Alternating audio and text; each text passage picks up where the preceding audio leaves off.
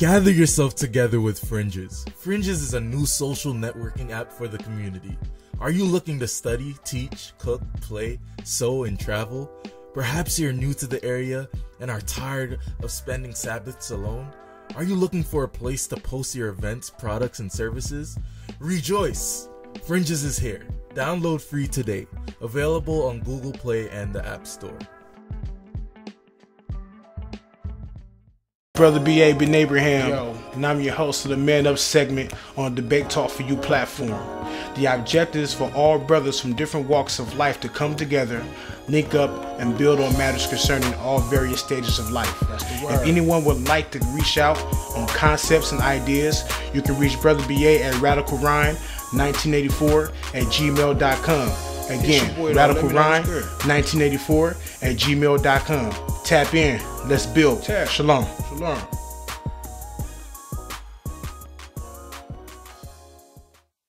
Brand disclaimer.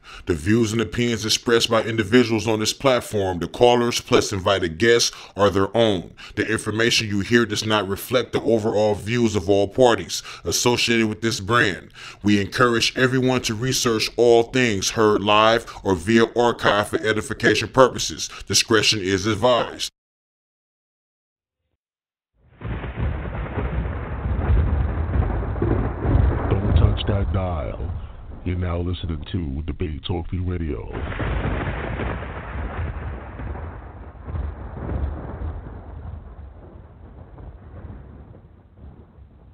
Yo, what's up with it? What's up with it?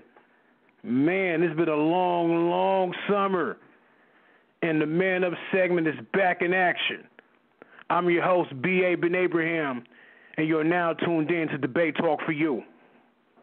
And man, before I get started, I would just like to say this.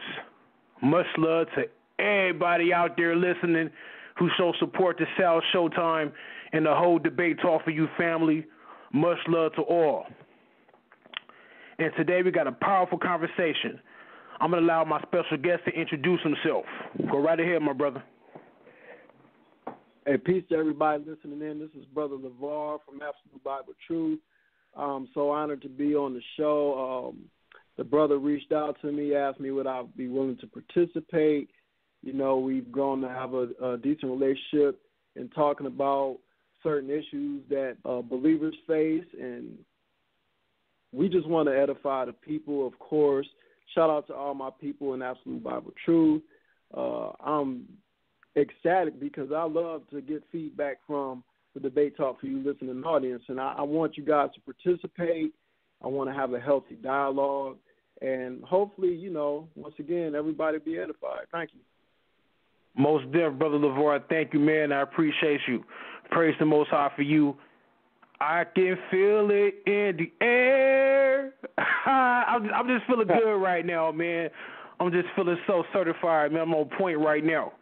All praise is due to the Most High in the name of His whole, in the name of His only anointed, known as Yeshua the Christ. And yo, Sal, can you feel it, my dude? hey, what's going on, family? What's going on? We all here. That's right. Debate talk. Yeah, what's the word? I, you know what I'm saying? I'm, I'm, just feeling so lovely right now, my dude. You just don't know. Uh, man. energy up. Go ahead, dude. Know, yeah, let the people know what the title of the show is. That most deaf. Today's topic is American politics and its influence on our spirituality. Again, American politics and its influence on our spirituality.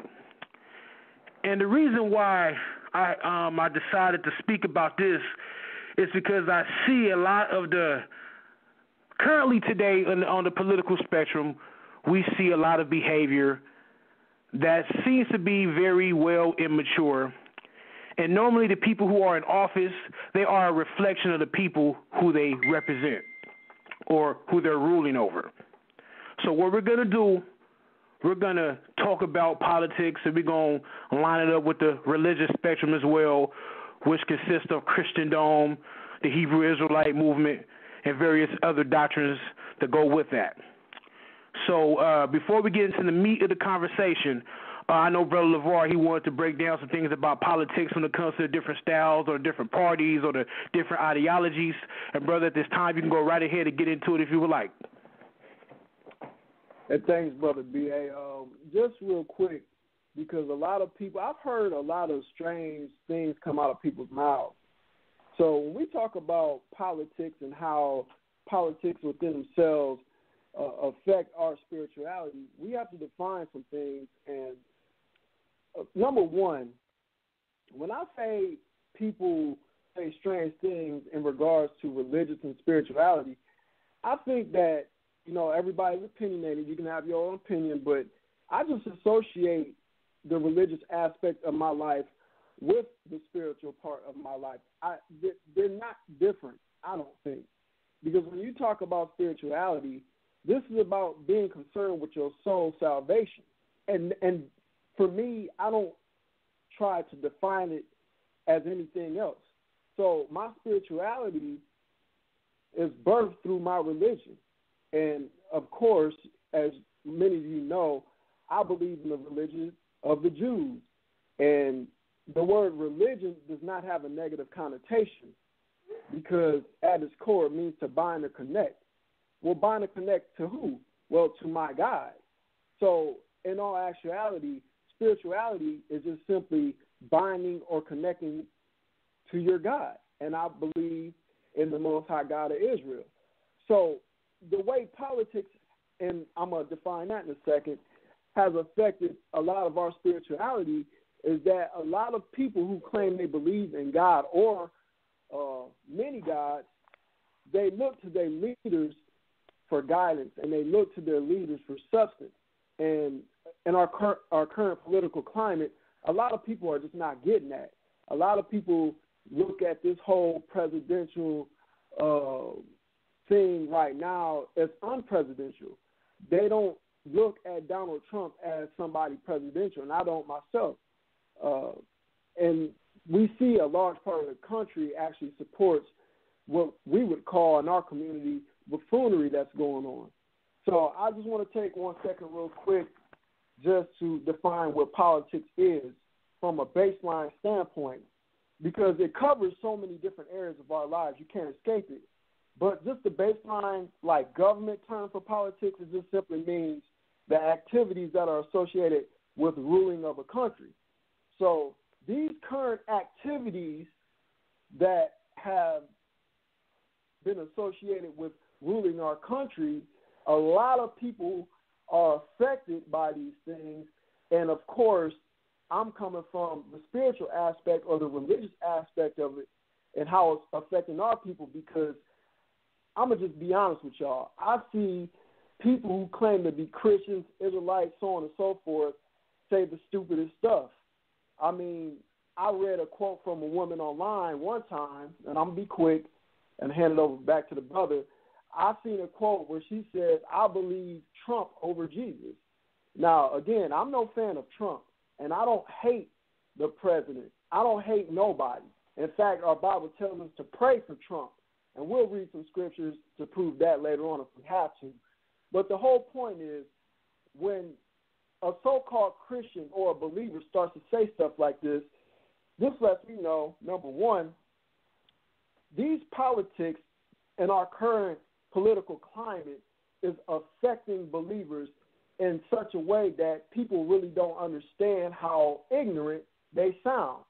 Whenever you hear a person say, quote unquote, I trust Trump over Jesus, over Yeshua, then you just got to shake your head and go, well, why are you idolizing this man like this? Why do you hold him at such regard? And what in the world has he done for you? How has he blessed your life to the point where you could say such an asinine statement?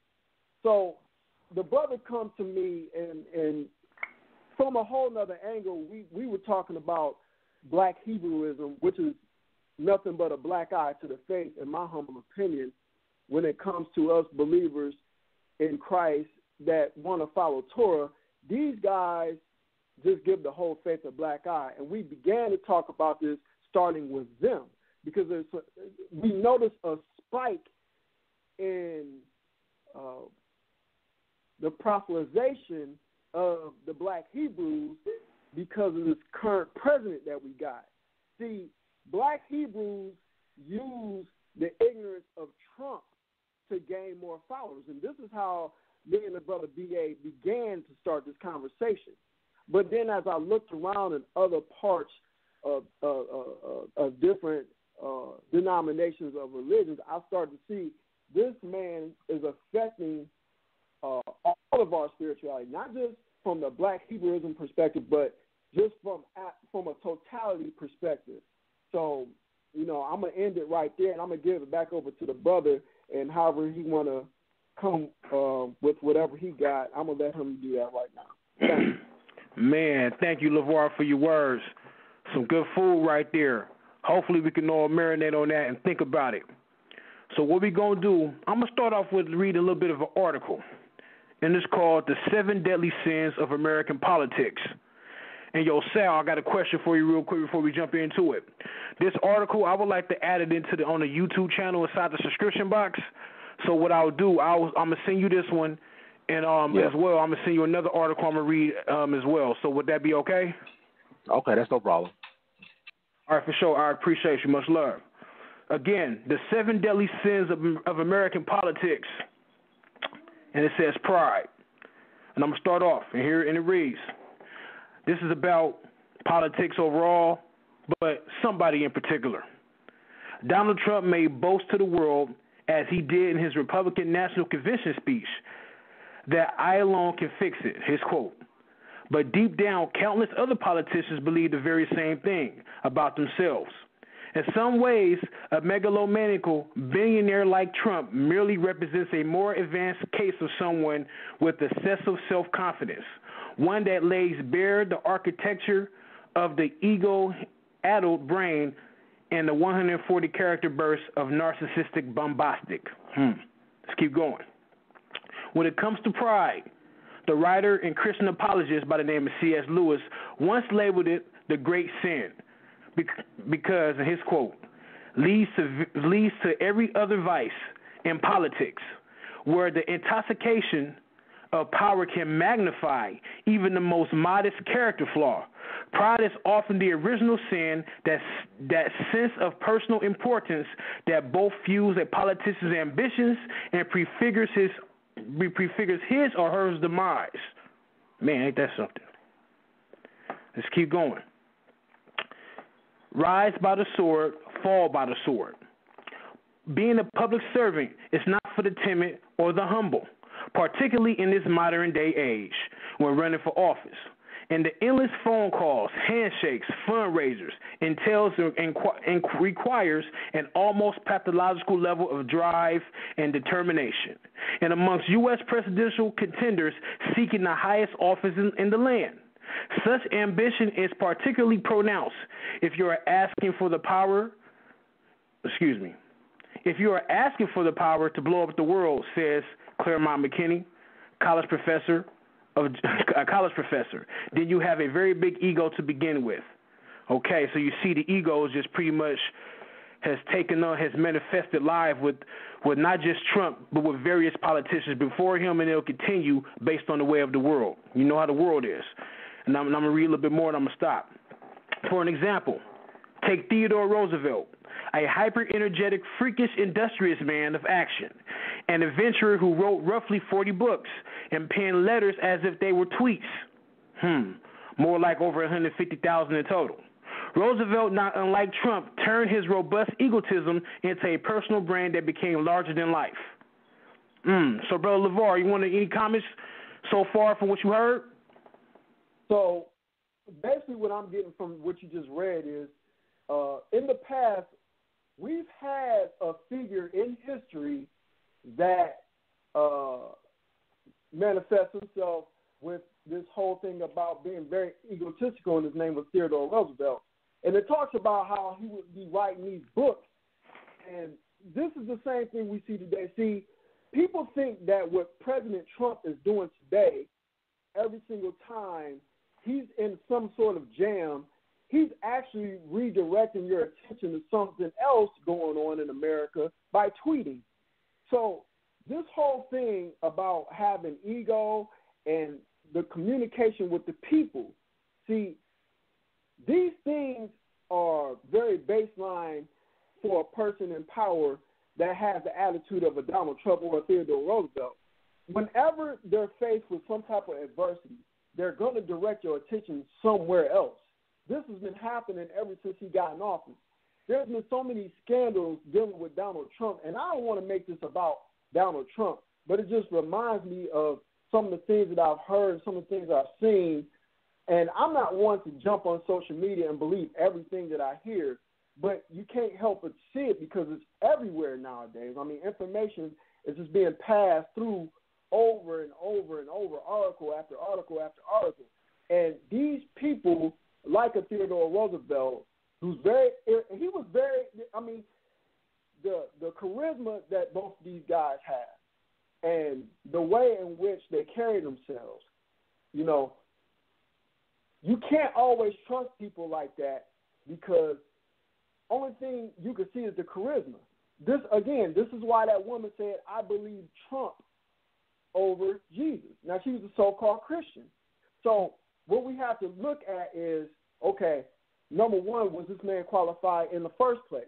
Number two, if he doesn't meet the qualifications, why is he in there? And that's politics within politics because it seems to me now that if you're not meeting the criteria, then the only thing you have to do before you became uh, president elect is have some sort of following, some sort of fame, some sort of riches, some sort of notoriety in a whole different area. So now what we're getting nowadays is basically C minus students to lead the free world. How does that happen? I mean, seriously, you already got speechwriters in place to write speeches for you. A lot of these guys don't even have military experience anymore. At least Abraham Lincoln was a lawyer in his own right. That'll let you know he had smarts. But we all know Trump from his past has how many bankruptcies he's had. He's not the smart businessman like people think he is. He just has notoriety. He's been a part of Ponzi uh, get quick rich schemes.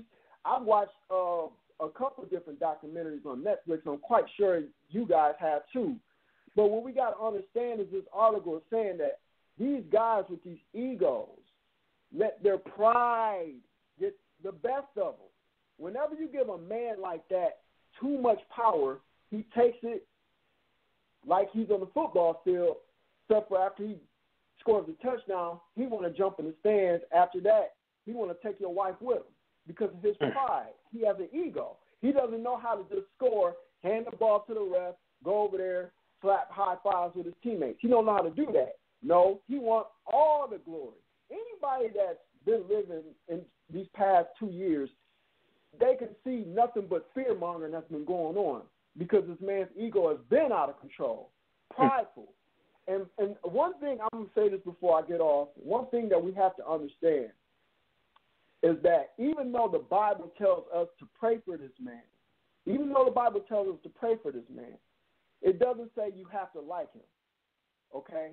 So, you know, nobody's doing any double talk here, but we have to understand that when when you're dealing with politics, there are so many games being played by by lobbyists. These are people who use tactics to just basically influence legislators for whatever political gain they can get out of it. There's so many different examples of just bad leadership going on within politics that you you can't just look to these people as if they're perfect, but you have to pray for them because if you pray for them, what God can do is turn their heart. Mm. And if God can turn their hearts and help them get rid of all this pride and all this ego, then you have for yourself a better leader. Mm. So, because I know a lot of people heard when I said you should pray for Trump. A lot of them probably was like, "Man, I'm hanging up the phone right now. This dude's a sellout." But if I'm a sellout, then I'm a sellout for for what the Bible is actually telling me. Again, we can get into some scriptures, but all I'm saying is this: you want your leader to be a man of character, a man of the Most High. The second we stop praying for our leaders in this country, I mean, what do you think is going to happen? Mm. I'll leave that up to y'all imaginations. But go ahead, bro. Most deaf, brother. And all the things that Brother LaVar just expounded on when it comes to the ego, the pride, the charisma, and the behavior. Have we have you noticed that it's starting to hit or take effect on the so-called religious uh, religious spectrum as well? It also has taken effect and has enticed our religious or our spiritual leaders, like our pastors, our elders, the bishops, the deacons, you know, the high priests, or the so-called individuals like to call themselves high priests. Uh, and it's it's it's amazing to me how a person can call themselves high priest, and at the same time they'll say Christ is their high priest. Man, ain't that something? But let's move on. All right, I'm gonna move on, and I'm gonna go into a little bit more of this article. Then we really finna get into it though. Now, this kind of extreme self-esteem can morph into irrational confidence in one's own abilities when exposed to pool of power. A prideful leader starts to believe he really could change the world, that he knows what is best or others, and that normal laws and mores no longer morals no longer apply to his self-ordained quest. Ain't that something? Now we're going to get into something that's called the hubris syndrome. And it reads True political hubris through is more than an outgrowth of ambition or occupational hazards that can exaggerate existing narcissism in, in a politician. Repeated exposure to power, including unaccustomed thoughts, may fundamentally alter a leader's brain chemistry. Uh oh. Seems like somebody is like, or these individuals who take upon this type of syndrome or have this type of behavior, they're losing touch with reality because their head is so far up their rear ends, they forgot they live on Earth. And their head is grown as big as the universe. But I want to look at this word hubris real quick. Hubris. And it's a term that we can trace back to Greek mythology. Give me a second. And it reads The hubris. And it reads In this ancient Greek context, it typically describes behavior that defies the norms of behavior or challenges of the gods, in which in turn brings about downfall or nemesis of the perpetrator of hubris. Hmm, let's see what's up, what else, wherever else it says. And let's look at it in the dictionary. So it's some type of complex, some type of way of thinking. And what we're going to do, I want to look at it in the dictionary so we get a, a thorough, a much more thorough definition excuse me, hubris, according to the def- to the uh, Webster's Encyclopedia Unabridged Dictionary, and it reads: excessive pride or self-confidence, arrogance. Wow, we got a whole bunch of scriptures dealing with that. Man, that's crazy. I want to go to an example, an example of a person or an example within the scriptures when the hubris syndrome is being displayed. Let's turn to Isaiah chapter 14. And as we're turning there, Brother LaVar, you want to say a quick comment, if you would like? Yeah, just real quick. Um, so what you're basically doing is you're describing somebody with a narcissistic personality disorder. Mm. And so the type of traits this person has is false humility and a whole bunch of self admiration. Mm. Remind you of somebody? See, the thing is, man, when you have somebody over you, you don't want nobody too sure of themselves. You don't want you don't want nobody too confident in themselves. You know how? You know why? Because a lot of times this rubs off on people. And when these people don't meet the standards, how does that affect you? Now you sitting there feeling like I don't think I can trust nobody. He let me down.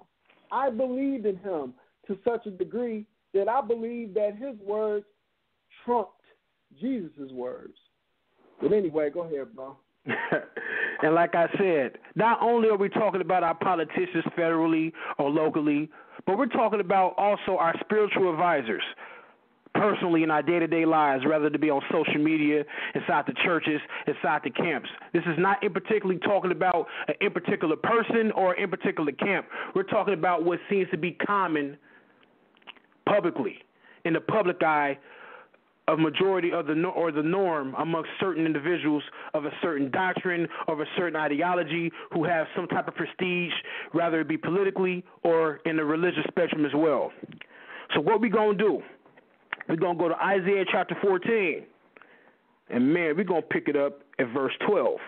And a lot of people have read this before. If you're in the Word, you're probably familiar with this. We're not going to address who we're who this is talking about in particular we're going to notice the characteristics and the attitude. Isaiah chapter 14, verse 12, and I'm reading from the KJV. How art thou thou fallen from heaven, O Lucifer, son of the morning? How thou cut down to the ground, which didst weaken the nations? For thou hast said in thy heart, I will ascend into the heavens. I will exalt my throne above the stars of God. I will sit also upon the mount of the congregation in the sides of the north. I will ascend above the heights of the clouds. I will be like the Most High. Uh oh. Mm. Now, do we see this day to day? Like I said, we just don't see this on the grand scale of politics, but this type of attitude, this type of enticement also has come down to the religious spectrum as well. And one thing about it, I'm gonna, I'm going to read that one more time in verse 14. I will ascend above the heights of the clouds. I will be like the Most High, them high thoughts. You arrogant. You are narcissistic. I see dudes with the title of Reverend act like this. Dudes with the title of Elder act like this. Mr. Politician, rather be on the judicial board or the congressional or the Senate. We see this constantly with our leaders on a day to day basis living in America in this modern day age. I thought a person in office, whether they be a politician or someone that's serving the people on a religious spectrum, are supposed to serve the people. Man, ain't that something? We reading right here in the scriptures that this type of attitude is something that the Most High has an issue with. So, LaVar, can you do me a favor? Can you turn to Proverbs? Let's see. Let me check real quick. Uh, Go to Proverbs chapter 16, if you don't mind, my brother. No, I don't mind. Thank you. I appreciate that. I'll go somewhere. Yeah, you know, let me just say this real quick. Go ahead, brother. Go ahead. You know, I, I love that you threw the spiritual leaders in there because it reminded me this one time where I was at church and this pastor, he was a very elegant speaker. He was fiery. He was a great communicator, very boisterous. My kind of, you know, guy when it comes to delivering the word. But one thing threw me off. When this brother started talking about his silk sheets and his silk pajamas and all that stuff, I was done. Mm. And the reason why I was done, and I'm not saying there's anything wrong with having these things, I'm not saying that. But after he said that, everything became about him. And what you just described, right there when you just read that scripture, it described a person who was very narcissistic, very sure of himself, very prideful. It's all about that person. And from the and, and from the time that preacher started talking about them silk pajamas, for the next thirty to forty five minutes, it became about his beamer, it became about mm. his, his snakeskin shoes. It became about his snakeskin wallet. It became about uh, how he used to be a player and he ain't no more. But then I was hearing all these rumors about him cheating on his wife, so he was really still a player. So this attitude that you're talking about, man, is very contagious and it spreads like a cancer mm. because the second you see somebody puffed up like that, if you're the type of person that wants to be like that, you're gonna gravitate towards that person. You you figure it's gonna rub off on you because maybe you know you materialistic. But a person like me, I was done. I sat there, I sat there, and I sat there, and I said, you know what? This is my last time. I'm gonna listen to this. But anyway, Proverbs 16 and what? Uh, pick it up in verse 18, my dude. Read just verse 18. All right. Proverbs 16, verse 18. Pride goeth before destruction, and a haughty spirit before a fall. Mm. I'm gonna read now. I'm gonna read Isaiah 14 again. Isaiah chapter 14 and verse 14. I will ascend above the heights of the clouds. I will be like the Most High. And what did my brother just read? Read that one more again. All right. Pride goeth before destruction, and a haughty spirit before a fall. Mm. Don't that line up? It lines up perfect. But check this out. Verse 15 of Isaiah chapter 14. Man, it's, and it reads, Yet thou shalt be brought down to hell, to the stars of the pit. That they shall, that they, I'm sorry, they that see thee shall narrowly look upon thee and consider thee, saying, Is this the man that made the earth to tremble? That did shake the kingdoms? That made the world as a wilderness and destroyed the cities thereof? That opened not the house of the prisoners?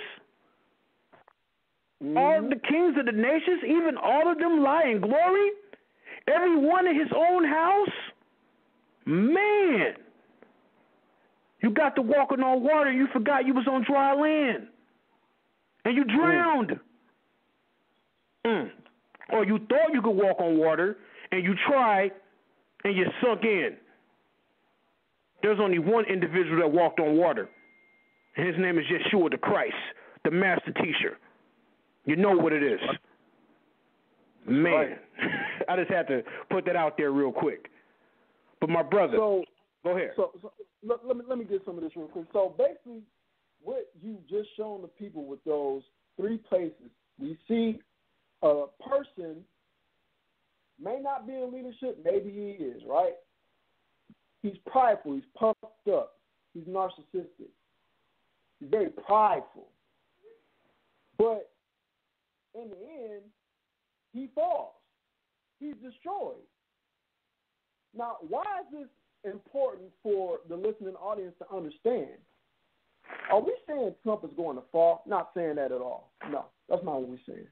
What we're saying is those are the ingredients of falling. The Bible is clearly letting you know and understand that being prideful, narcissistic, all the self admiration, false humility, because I've been seeing a lot of that on this show. I'm gonna just keep it all the way 100 with you. Oh boy. Once once you start doing all that, you just taking all those ingredients. And I used to be a chef, y'all. Put them in that bowl, taking that spatula or Mm. whatever kitchen tool you got, you mixing it up in that bowl, and you put it in the oven, and you baking you a good old fall. Mm. Good old fashioned fall right on your face. Look at past leaders that was like that. Um, some of them self-destructed. I'm gonna give you one off the top of my head. His name was Adolf Hitler. You ever heard of him? Oh yeah, most deaf. So as far as Adolf Hitler goes, we've seen what a narcissistic attitude, a maniac of a narcissistic attitude, and a prideful attitude can get you. Last time I checked the history books, from what I've read, this man ended his own life. Or didn't. Either way it goes, this man failed along with his empire because he had to understand at the end that his system of government didn't work and he had to understand he was just a man. People worship him. But at the same time, he ain't Yeshua the Christ, the only one who inhabited flesh, the only spirit to inhabit flesh that we as Messianic believers believe we should worship. And I want to say this real quick because there's no comparison to Adolf Hitler with Yeshua the Christ because a lot of, I've heard a lot being said on this particular platform, and I just want to say for the record that you guys did an excellent job when it came to defending the faith against the non-messianic community or the Tanakh only community. Excuse me. I know a lot of them don't like that. And the reason why I got to go ahead and give you, uh, Zadok, brother Josh, uh, brother Anon, Anonymous Hebrew. I got to give all you guys a lot of credit because you always stood your ground. We don't worship a man. We believe Christ existed before he inhabited flesh as God in heaven with all the other sons of God who are also gods. And people don't understand that. But people tend to worship Trumps. They worship the the Adolf Hitlers, the, the, the Joseph Stalins of the world, the Idi Amins of the world. I mean, you name it. These guys are worshipped. And these people ran tyrannical governments, and the brother just laid out some scriptures to meditate on. You don't want to be like this. But at the same time, you got to pray for these people. Go ahead, brother. Man, dude. Man, when it comes to that, I'm gonna just go to the next scripture, and then we're gonna go into the meat of the convo. Turn to Proverbs chapter 21.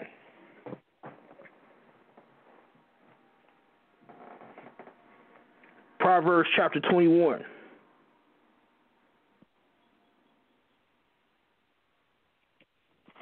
We're to pick it up at verse. To pick it up at verse 23. And it All reads, and I'm reading from the KJV, y'all. Who keepeth his mouth and his tongue keepeth his soul from trouble. Proud and haughty scorner is his name, who dealeth in proud wrath. The desire of the slothful killeth him, for his hands refuse to labor. He coveted greedily all day long, but the righteous give and spare not.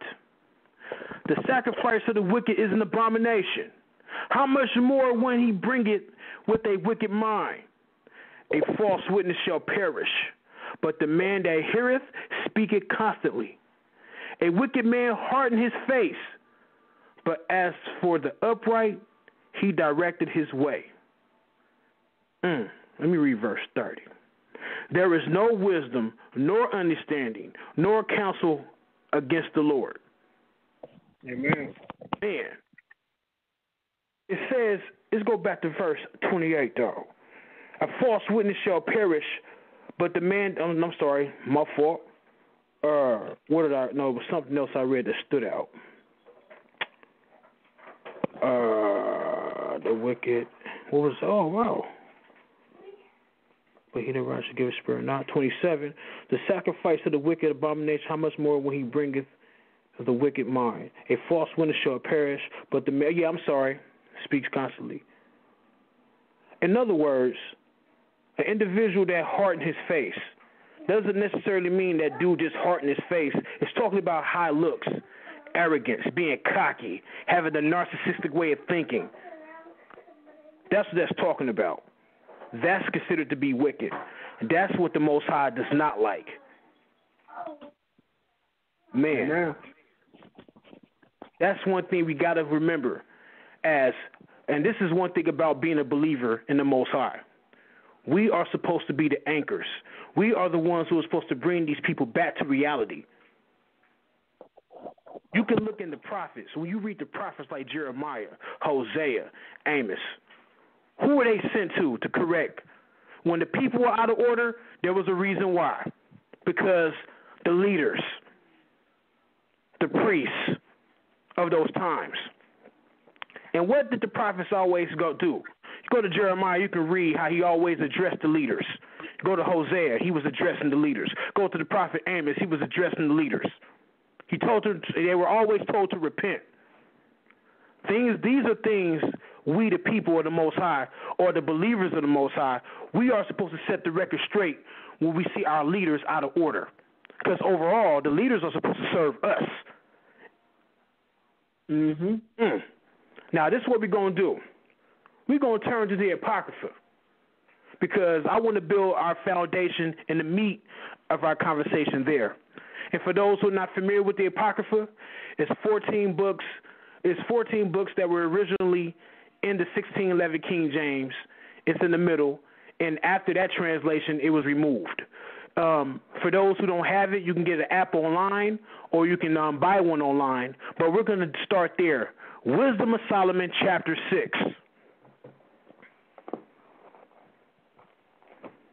In the Apocrypha is some good knowledge in there, a lot of history, and a lot of uh, good writings that kind of remind me of Proverbs and Ecclesiastics and Psalms and things of that nature. We're going to pick it up at Wisdom of Solomon, chapter 6. And it reads, and pick up at verse 1. Hear therefore, O ye kings, and understand, learn ye that be judges of the ends of the earth. Give ear that the rule of the people and glory in the multitude of nations. For power is given you of the Lord, or Yahweh, and sovereignty from the highest, who shall try your works and search out your counsels. Let's read verse four, because I want to stop. I want to stop at verse four. Because being ministers, uh oh, that word ministers of His kingdom. Whose kingdom? Who that LaVar? Whose king? Whose kingdom? God's kingdom. Man, ain't that something? Like the homeboy in New York be saying, uh, ain't that something? but let's keep going. I'm gonna read verse four again from the top. Because being ministers of his kingdom, you have not judged aright, nor kept the Torah, nor walk after the counsel of the Most High. Man, when you hear that word minister, now we know definition of words they change over time. So I want to ask you a question real quick, LaVar. What is the definition of minister in this present day and age for the average person who's for the average person who's under the leadership of somebody? The uh, the definition to the average person who probably don't know no better, who's probably ignorant of the actual definition, uh, probably somebody to serve somebody to serve. Mm. But we know the actual definition of minister is servant. Uh oh. He's supposed to serve you. That's the true definition of a minister. Uh oh. Now, we know the Apocrypha is written in first century Greek. And for those who have a problem with Greek, that's crazy because we have believers who believe in the New Testament but for some reason they have a problem with Greek. Really, it's mine. It is really, it's really baffling to me. But that's a whole nother conversation, though. But the thing is, is that I want to examine this word ministers in the Greek. I went to Liddell Scott's Greek lexicon, and I did some research. And then I'm gonna back it up with the Thayer's and the Homeboy Strongs. And according to Liddell Scott's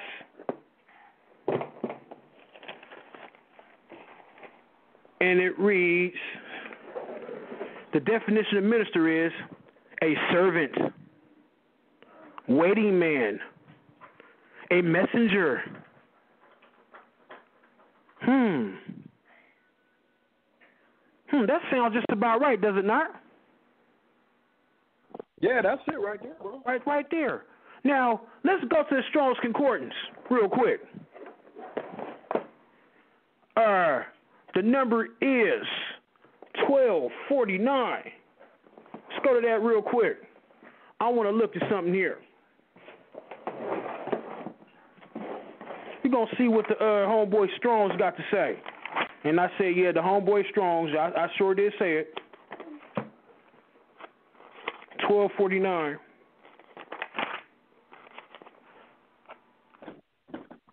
Give me a quick second, family. and the word is diakinos or diak. For me, for those who speak Greek, forgive me, I'm butchering it, but for what I see, diakonos. If that's the proper word. If we have a caller that presses one that speaks Greek, please correct me on that. I don't mind being corrected. I don't have an attitude problem. But it reads, according to the homeboy Strongs, an attendant a waiter. Hmm. Ain't that something? Teacher, pastor, a deacon, deaconess. I'm not even gonna go there. That's a whole nother conversation. Minister. Hmm. So ministers are supposed to serve people in the kingdom. According to according to uh Wisdom of Solomon chapter six, I read it again, verse four. Because being ministers of his kingdom, and this is talking about the kings. But we can also line this up with the priests, the pastors, the deacons, the bishops, the elders, and the so called high priests. Mm. But do we see that as often in our communities when it comes to the religious spectrum? Do Not we see all. our pastors actually being servants for the people? Do we see our elders being servants for the people? Or do we see it the other way around? The people serving them? What you think, LaVar? What you see that's too often? Well, growing up in the Baptist church, I didn't know the true definition of minister growing up. And a lot of it has to do with what you're talking about. Again, it goes back to that preacher that I've seen on the podium talking about his silk drawers. Homeboy, I don't care about your silk drawers. I want to know about the word of God. And again, it came, it became all about him. And this is what this is what pimps do. They get inside your head psychologically. It's about me. It's about me. It's about me. It's about me. And guess what? You believe him when you don't know no better. And those of you who young, just like myself, very impressionable, you know exactly where I'm coming from.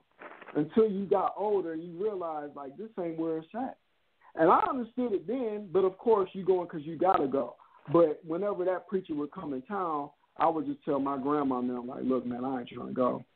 Like it's something about him. And all of a sudden, I'm being an unruly child. No, this man is trying to serve his own belly. That's how the Bible talks about it. Mm. These people serve their own belly.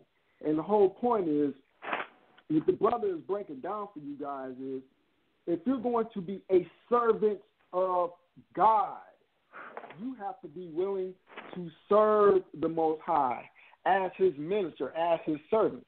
It reminds me of Deuteronomy chapter 10 and 17. It talks about the Lord is God of gods and the Lord of lords, great, mighty, and terrible, which regardless not person nor taketh reward. Mm. You are to take on the nature of your God. This is what people don't understand. When you take on the nature of your God, that means you're not doing certain things that the rest of the world do. We're talking about politics here. Last time I checked, all these people are taking bribes. All this money is getting passed around, recycled, and circulated. When you take on the nature of your God and you want to be a servant or you want to be a minister, you can't be taking bribes. That's another aspect of the political mindset. You got all these back alley deals being done. You know, I've seen a lot of different politics growing up, even as a teenager. All of y'all who play sports know exactly what I'm talking about. You got a young man, right? He's 15 years old. He's a freshman. He's starting on varsity, starting point guard, right, on the basketball team. He averaging like 18 points as a freshman. His sophomore year, his numbers go up. He's averaging like 20, right? His junior year, right? He averaging like 24. Point guard. He grew to about six foot six, right? Then his senior year, he grew up to about six foot seven. There's a coaching change. Guess what? That new coach, his son comes. His son is a little bit taller, can't shoot as well, can't dribble nowhere as good as the boy that's been starting since he's a freshman. But because of the politics, the new coach's son is starting over this one who was starting the past three years. Now, how does that happen? You see what I'm saying? So, politics play a role in sports. Politics play a role in the spiritual community. Politics play a role in Hollywood, the entertainment industry. Y'all heard of Harvey Weinstein, right? What was his politics? Sexual politics within Hollywood.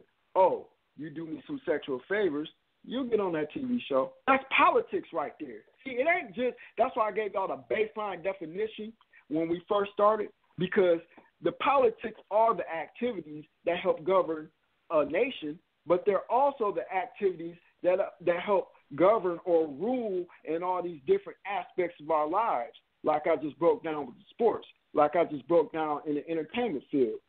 It ain't just there, y'all. What about food politics? You know, there's a lot of ignorant stuff going on when you're hearing about GMOs and all these types of things. These are food politics, man. You got people that, that don't want to, to let the soil rest so that we can get proper nourishment. Now it seems like nothing is real that we put in our body. You see what I'm saying? Mm. Politics range from sports, entertainment, all the way down to our religion and spirituality. And so what we need to understand is we cannot get so caught up in all these di- different activities that's going on behind closed doors. What we need to do is learn how to serve our God. Teach others who are struggling with their faith about our God. We have the power to do that. We don't tap into it enough. One reason why I didn't mind coming on the show with the brother is because I understood where he was coming from. I always like the man up series. And I'm definitely come back on here if you want me to. But the point what we're trying to show you guys is narcissistic people, they cannot be your minister. Right? Mm. You are to take on the nature of your God, which is helping to serve the people and not taking bribes. Because when you take bribes, you are easily swayed. You see what I'm saying? Women are very dangerous when it comes to men of power because women are powerful. And the things that we see in leadership today, a lot of this stuff is going on in the background is because of a woman. I've even seen that in high school. Oh, yeah. me too, bruh. Me too, bruh. You you That's not a bash at the sisters. We're not we're not attacking none of the sisters. We got love for the sisters. We're just talking about how things are in the way of the world, which could be so cold. Well, I ain't attacking no sister because I just said sisters are powerful. Oh, most definitely. I agree with you. You know what I'm saying? But you know, there's people out there who may take it as just a shot. So we want to make sure, you know what I'm saying, we just be we being clean and we just want to make sure that ain't nobody feeling that they don't get they don't make it seem like we bashing anybody. You feel me? And I know you wasn't, brother, but I just had to clear it up because some people take it like that. In this day and age, you never know what anything can pop can pop off no matter what. You feel me? Right. Well, I got much love and respect for my sisters. In fact, I came on this show a number of years ago, and I'm quite sure Sal remember. I was uh, on here debating the brother. I can't remember his name, but I I was defending the position that a woman can teach within a church setting. I was defending that premise. So if anybody thinks that I have any uh, animosity or bias uh, against women, they're they definitely mistaken because I believe that a lot of these sisters can teach better than a lot of these brothers I have heard. Like Sister Ashanti, she got a sharp sword. I got the utmost respect for her. I can listen to her all day because she studies. See, a lot of these brothers don't be studying, but they want you to listen to them. You can't be a servant being a, narciss- a narcissist. And a lot of these guys are narcissists. They just want vainglory. We spoke about that earlier. That false humility. And a lot of this is going on, and uh, it's going on because we let it go on. Mm. And that's why I'm glad you guys named this man up because some of these, listen, I ain't with all the controversial and all the craziness, but a lot of times, man, I just be thinking to myself, and I agree, you know, some of us have a voice for teaching and some of us don't, but a lot of us need to just sit down somewhere. And this is why you don't hear my voice a lot because I'm more of a student than I am teacher. You know, I, I'm more of a sponge than anything. I like to soak up. I like to hear everybody because I believe everybody got something good to say. But at the yeah. same time, I'm going to pick a lane and I'm going to sit in it.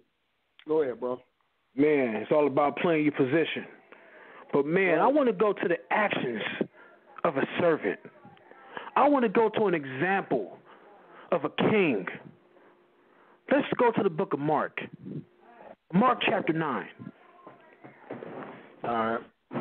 Most deaf. Let's see what the king of Israel got to say. Known as the Christ. Let's see what he got to say. Mark chapter 9.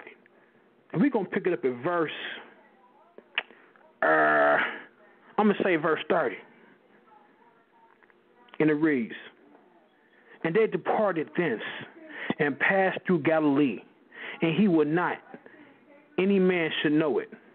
For he taught his disciples and said unto them, The Son of Man is delivered into the hands of men, and they shall kill him.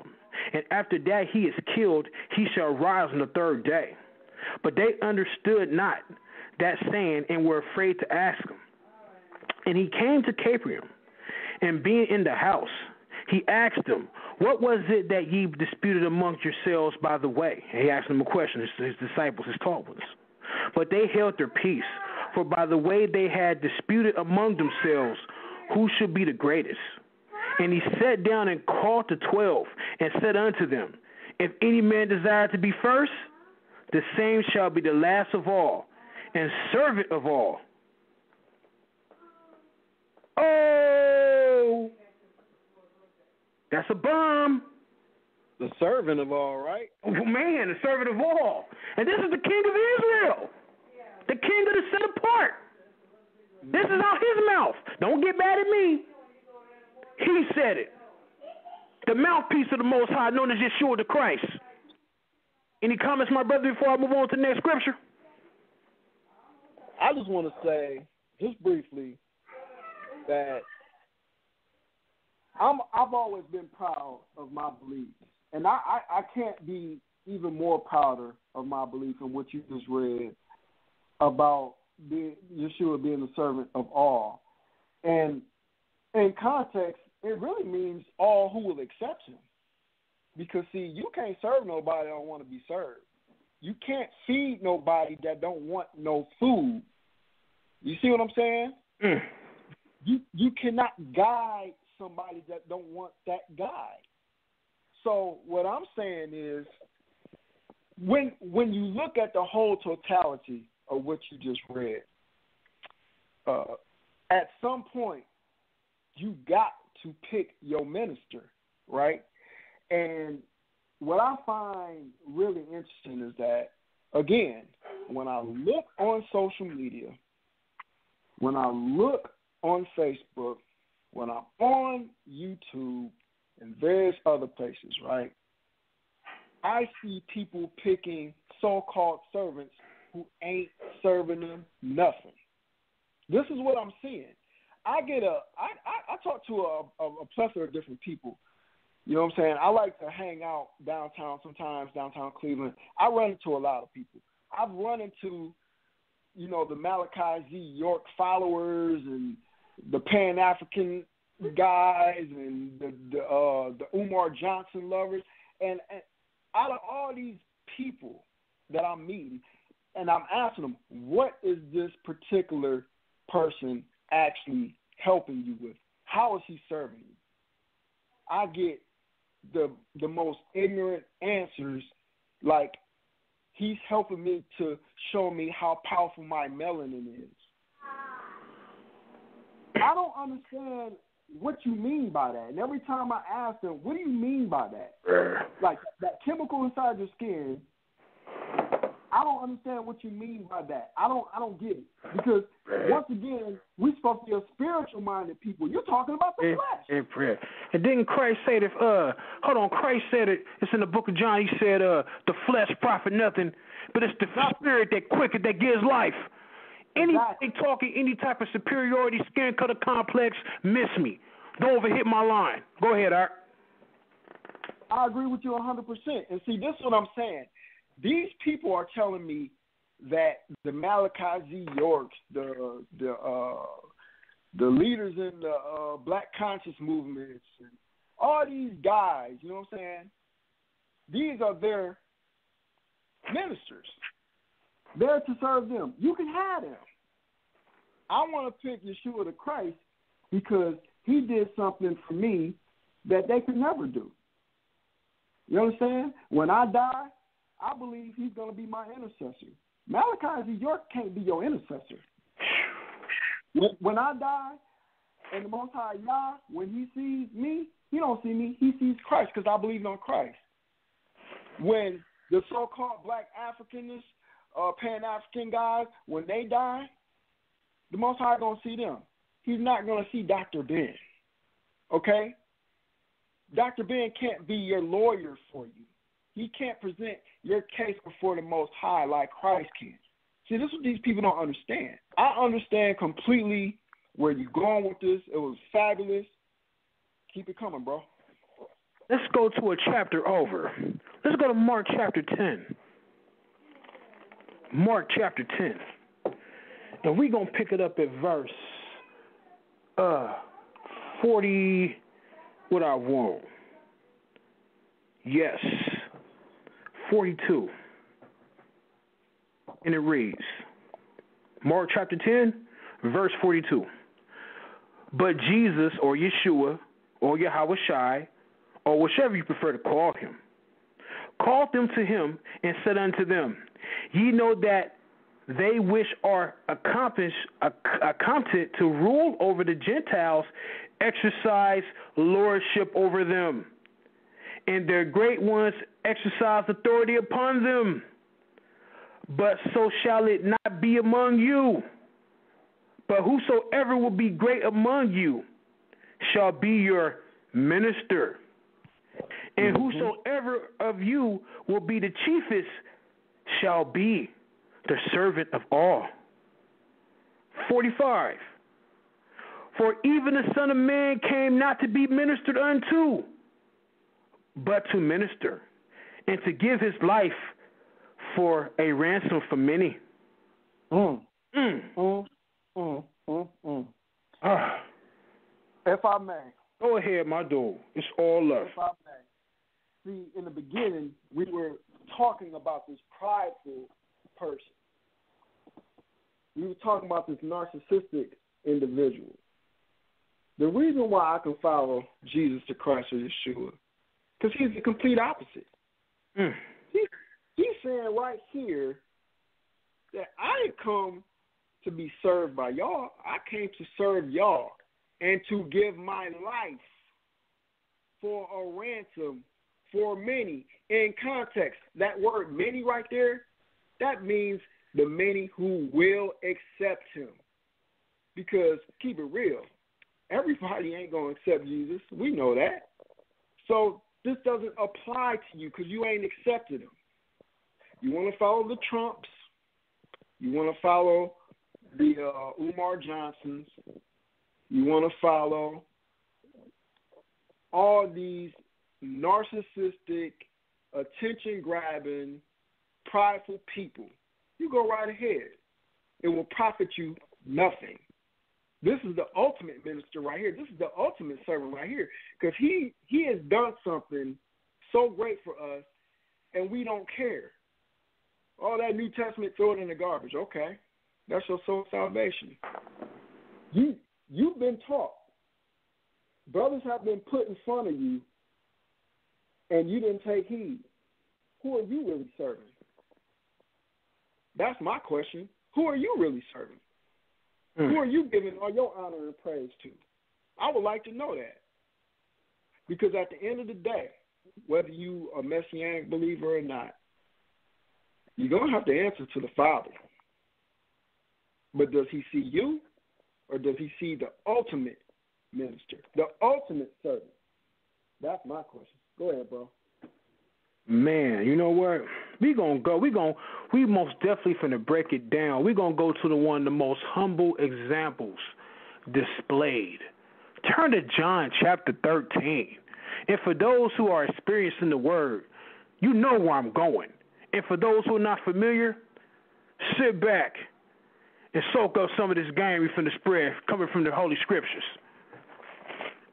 John chapter 13, right here. This is the ultimate display of being humble. Let's see if these so called high priests, these so called apostles, these so called modern day self titled prophets and pastors, and any of these individuals with these high names and these these these characteristic and these vow attitudes who claim to come in the name of the Lord. Let's see if you're willing to do this. I'm going to pick it up John chapter 13. We're going to go to verse 3. No, you know what? I'm going to go down some. I'm going to go to verse 4. No, verse 3. My fault. And it reads Jesus, knowing that the Father had given him all things into his hands, and that he was come from the Most High, and went to the Most High. He rises up, I mean, he rises from supper, and laid aside his garments, and took all, and took a towel, and girded himself. After that, he poured water into a basin, and began to wash his disciples' feet, and to wipe them with the towel wherewith he was girded. Stick a fork in him. How many so called high priests have done this already? How many pastors have done this? How many of us have done this? This is the ultimate example of humbling yourself. This is the master teacher washing his students' feet. But what do we see today in this society? This type of service being done to those with the titles. Totally contrary to how the Most High set things up. Man, ain't that something? It's amazing to me that, you know, I, I read this article, right? And this is the ultimate form of humility, by the way, what you just read. Because, you know, most people ain't trying to do that. But I, I, I'll tell you, the people, churches have adopted this custom actually into their church homes around this nation. I know because I moved around a lot as a Navy kid growing up, and I've been to many churches, and and, and some what they, what they call primitive Baptist churches actually do the washing of the feet. They have women on one side of the church and the men on the other side of the church, and, and, and the women will wash the women's feet and the men will wash the men's feet. And they adopted this custom because they're trying to have that discipline of humility within themselves, and that's an honorable thing. But I find it really odd, and I'm, I'm going to explain this article I was reading about how the um, Supreme Court redefined marriage a couple years ago, and and this is what you would call gender politics, because we're not going to get away from what this is about at all, because we're going to tie all this together, of course, from what the brother is bringing forth through the Bible, and of course, uh, some of the secular things that I've been reading. But it's amazing to me how the Supreme Court of like five to seven uh, lawyers got together and and and made this ruling, and um, they overruled the states' rights with this. And what's so telling about this is the fact that you have many Christian churches um, that wouldn't allow any homosexuals to have certain positions in their church. Uh, but because uh, a gay individual might be related to someone that has a certain amount of clout in the church, whether it be a pastor, deacon, or deaconess, or whatsoever, they allow this individual to become a choir director or a media director, or whatever position that they have in the church. They changed the whole rules. They changed the politics of the church uh, be, because of the Supreme Court ruling uh, back in I want to say about 2015. It, it changed the politics of the church. Let me tell you something about this humble servant that the brother just read about in John 13.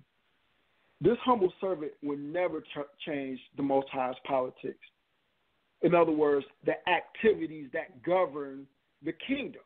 Mm. But you got a lot of that going on nowadays inside these churches. Even before this Supreme Court ruling came down, you had a lot of pastors in leadership doing this stuff, compromising because they didn't want to hurt somebody's feelings. You don't see the KKK compromising, okay, and letting black people into their organization. No, it's in their bylaws no people of color. Well, the Most High has a Torah, he has laws, which is, to me, a more accurate translation would be teachings. And the teachings say that this type of individual who wants to do these things, back when there was a theocracy in Israel, they would be put to death. That's just the book. All of a sudden, the politics have changed, and that's fine. I get it. I understand. We're not under the theocracy of the Most High. But guess what? as the brother understands, and other brothers and sisters out there understand, there's going to be a theocracy again. What you going to do then? you ain't gonna be able to bribe the Most High, like I quoted in Deuteronomy 10 earlier. Mm. And you're not gonna be able to get the Son of the Most High to change the politics of the kingdom in order to satisfy you. You're gonna have to be humble. Again, take on the nature of your God. Yes, I can say that. The Most High is the Father. His Son is God. I serve them both. Yes, I admit that. In the very nature of the Son of God, who is God Himself too, right? Humility. Humility. You take on that nature. And He didn't try to change anything that His Father put forth. Go ahead, bro. Man, that's powerful, my dude. That's powerful. I love that. But for those who are listening on the phone line and who are listening on the online service or on the on, on the website, if you would like to call in and chime in and build or speak on it, the number is area code 319 527 6239. Again, area code 319 527 6239. We would love to hear people's comments or hear their questions or observations. If you would like to, press the one. But until then, let's keep it moving. Let's turn back to Wisdom of Solomon, chapter 6. Wisdom of Solomon, chapter 6. We're going to pick it up at verse 5. After getting into what it means to be a minister of the kingdom of the Most High, now we're going to go into another aspect of it. And it reads, verse 5 Horribly and speedily shall he come upon you. For a sharp judgment shall be to them that be in high places. These are the individuals, like it said in verse 4. If you're not a minister and you're not walking contrary to the way of the Most High, then these things will happen to you. So I'm going to read it one more time, verse 5. Horribly and speedily shall he come unto you, Mr. Leader, Mr. Politician, High Priest, Apostle, Prophet, Preacher, huh? For a sharp judgment shall be to them that be in high places. Verse 6 For mercy will soon pardon the meanest, but the mighty man shall be mightily tormented. For he which is Lord over all shall fear no man's person, neither shall he stand in awe of any man's greatness. For he hath made the small and great and care for all alike. Let's think about that real quick. Hold mm-hmm. on. Let me read one more. But a sore trial shall come upon the mighty. The mighty. But before we get into the mighty, I'm gonna read verse seven one more time. For mm-hmm. he is for he wishes Lord over all shall fear no man's person. Neither shall he stand in stand in awe of any man's greatness. For he had made the small and great and care for all alike. That means you have to be fair. That's right. As a leader. And we can read. Let's you know what? Let's go to the Torah. Because everybody claims that they know Torah. I'm gonna be honest with you. I would never ever tell a person I know Torah. I'm a student of Torah. I'm there you go. Learning Torah. There you go. I've been.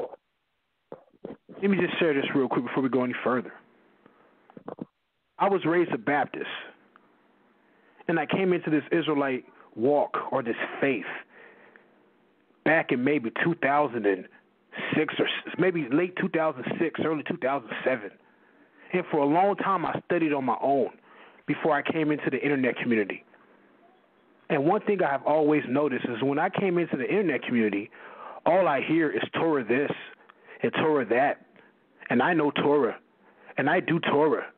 Torah, Torah, Torah, Torah, Torah, Torah, Torah. To the point I don't even like saying it anymore. Because every time I hear you boast about Torah, you've already butchered it and you're already messed up. Because the Torah talks about how you're not supposed to be boasting. We did a show with Zion Lex last season, and we proved that Torah is an action. In the book of Proverbs, it says that the law or the Torah is a light. You will be judged or when people if people see that you're keeping Torah, it's not about how much fat mouthing you're doing. It's about the action. It's about the movement. Did you ever hear Christ talk about how much Torah he kept? Did you ever hear him talk about how much Torah did he keep or how much Torah did he teach? He never did. Did you hear Moses talk about I keep Torah, Torah, Torah, Torah, Torah, Torah? Did you hear the prophet Elijah talk about I'm better than you and I keep Torah, Torah, Torah, Torah? No, you didn't. Torah is an action. Stop fat mouthing and just do it. That's the message to the so called Hebrew Israelite who loves to run his mouth on Facebook and YouTube and various other platforms all over social media and the internet. But let's go to Exodus, the book of Exodus. And as we turn there, my man, you got any comments, my brother? No, I can't. I couldn't agree with you more. Uh, you laid it out perfectly, man, and I agree that I am a student of Torah. I don't know it all. I have enough to direct people to Christ through it. I have enough of it to know that uh, it teaches me discipline. It teaches me temperance and self control. I know enough of it to where I'm judged. Um, God, God ain't gonna take it easy on me. I'll put it to you like that. Mm. Because the more you know, the more you be held accountable. I'll just say it like that. But I, I do love God's word, and I'm constantly a student at it. I'm always willing to be taught. I'm all, I'll always look forward to the Sabbath lessons to learn more on it. And you just got to be humble, man. There's too many guys out here that, you know, preaching hate, but talking about they keep Torah. Anyway, go ahead. Man, like I said earlier in the book of Proverbs, chapter 6, the Torah is a light People see you from a distance. When you're a light, people see it from a distance. They see a light. So guess what? If you're gonna preach Torah and Torah over and over and over, make sure you're doing it because you will come up fault at fault if you don't keep it. I mean, if you don't, if you, if you, oh, I'm getting tongue tied, my fault. If you continue to speak about how much Torah you keep, just make sure you're doing it. but let's go to Exodus chapter 23. And we're going to pick it up in verse 6. Thou shalt not rest the judgment of thy poor in his cause. Hmm. Keep thee far from a false matter, and the innocent and righteous slay thou not, for I will not justify the wicked. Verse 8 is a kicker. And thou shalt take no gift, for the gift blinded the wise, and perverted the words of the righteous. There you go. There you go. Hold on. And, let me just let me just do one more because um verse nine. me do. You go ahead and have it, bro. Also, thou shalt not oppress a stranger, for ye know the heart of a stranger, seeing ye were strangers in the land of Egypt. That speaks volumes. Go right yeah, ahead, brother. It's it's amazing that people uh, want to change the definition of what a stranger was back then, but that's neither here nor there. I like verse number eight because, and it's not like me and this brother like sat down and got some scriptures together. That's not how this happened. He said he's going to present some stuff. I said I was going to present some stuff. And verse 8 says, And thou shalt take no gift for the gift blinded the wise and perverts the words of the righteous. Now, what did I just say earlier? I hmm. quoted Deuteronomy 10. In a nutshell, take on the nature of your God, don't take bribes. Because it said you can't bribe God. This is saying don't take no bribes. Don't take no gifts, no bribes. So this this right here speaks volumes about a person in leadership who says he's going to serve the people. You can't serve nobody when you're taking gifts because it's going to pervert your words. And when it perverts your words, we already know if your words is jacked up, your actions is jacked up. You're telling people that you're going to do something for them, and you're lying. You're lying. How many times have we seen politicians get up on podiums in front of the whole nation and say what they was going to do, and it was nothing but empty promises? Mm. So, in a nutshell, you can't be a true servant if you're taking gifts and bribes. Just exactly the point I was bringing up earlier. Go ahead, bro. And you know what? Torah should never be preached or used as a sword. You're supposed to just do it. It's supposed to be liberty in Torah.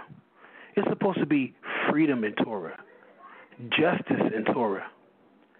We're always bickering at the Christian. You got to keep Torah.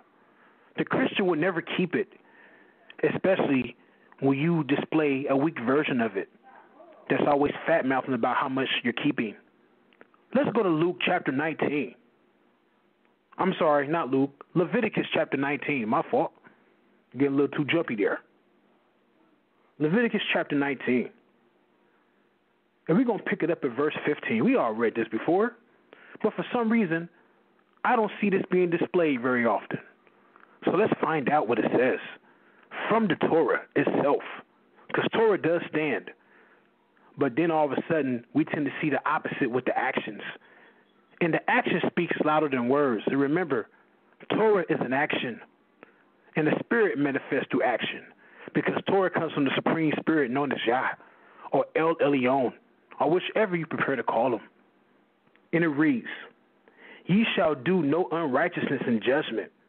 Thou should not respect the person of the poor, nor honor the person of the mighty, but in righteousness shalt thou judge thy neighbor.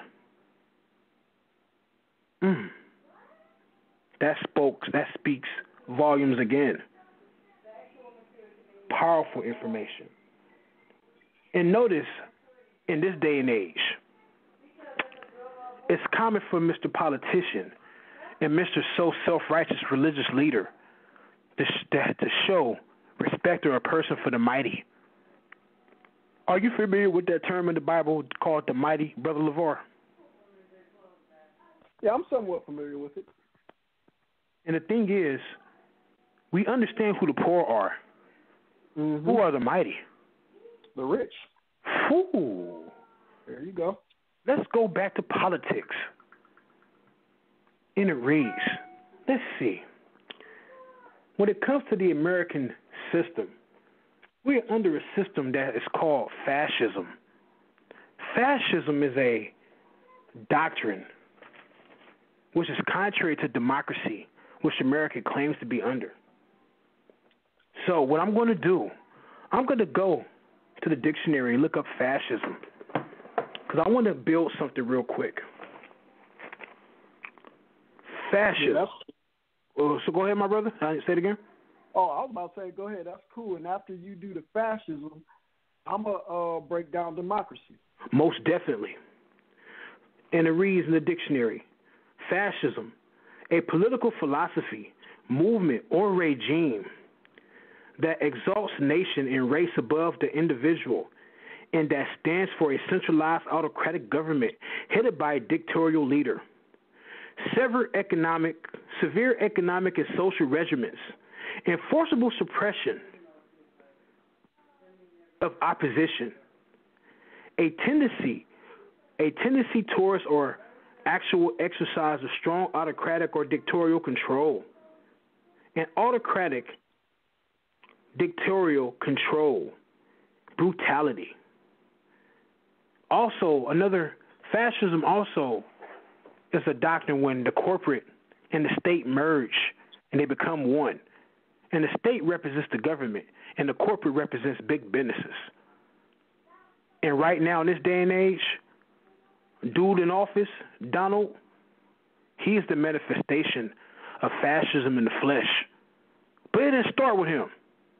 It goes to the one before him, and the one before, and the one before. A rapper by the name of Immortal Technique once said about the president before Donald, and it, he said that the individual, you know who he is, don't have to say his name, that he was fascism given to us with democratic packaging. Eldridge Cleaver of the Black Panther Party said when fascism comes to America, it's going to be wrapped up as super patriotic. It's going to be nice. It's going to be given to us with a sucker. Think about it. Who has control in the country? Who gets all the benefits? Is it the rich, the proletariat, or the working class? Or the mighty, the strong, those who have wealth and who controls the means of production? We are involved in a war of classism. Yes. Mm. Now, I'm gonna allow Brother uh, LaVar to break down democracy, and then I want to get into a little bit more of fascism, and we're gonna show that fascism is totally contrary to the scriptures. Go right ahead, my brother. In the U.S., we are considered citizens that are members of a democracy. The word democracy is from the Greek demos, which means the people, and kratia, meaning power and rule. So you're trying to tell me the people, as in, you know, the lower class, which we would be considered, you know, the non rich, we rule this country? Uh okay.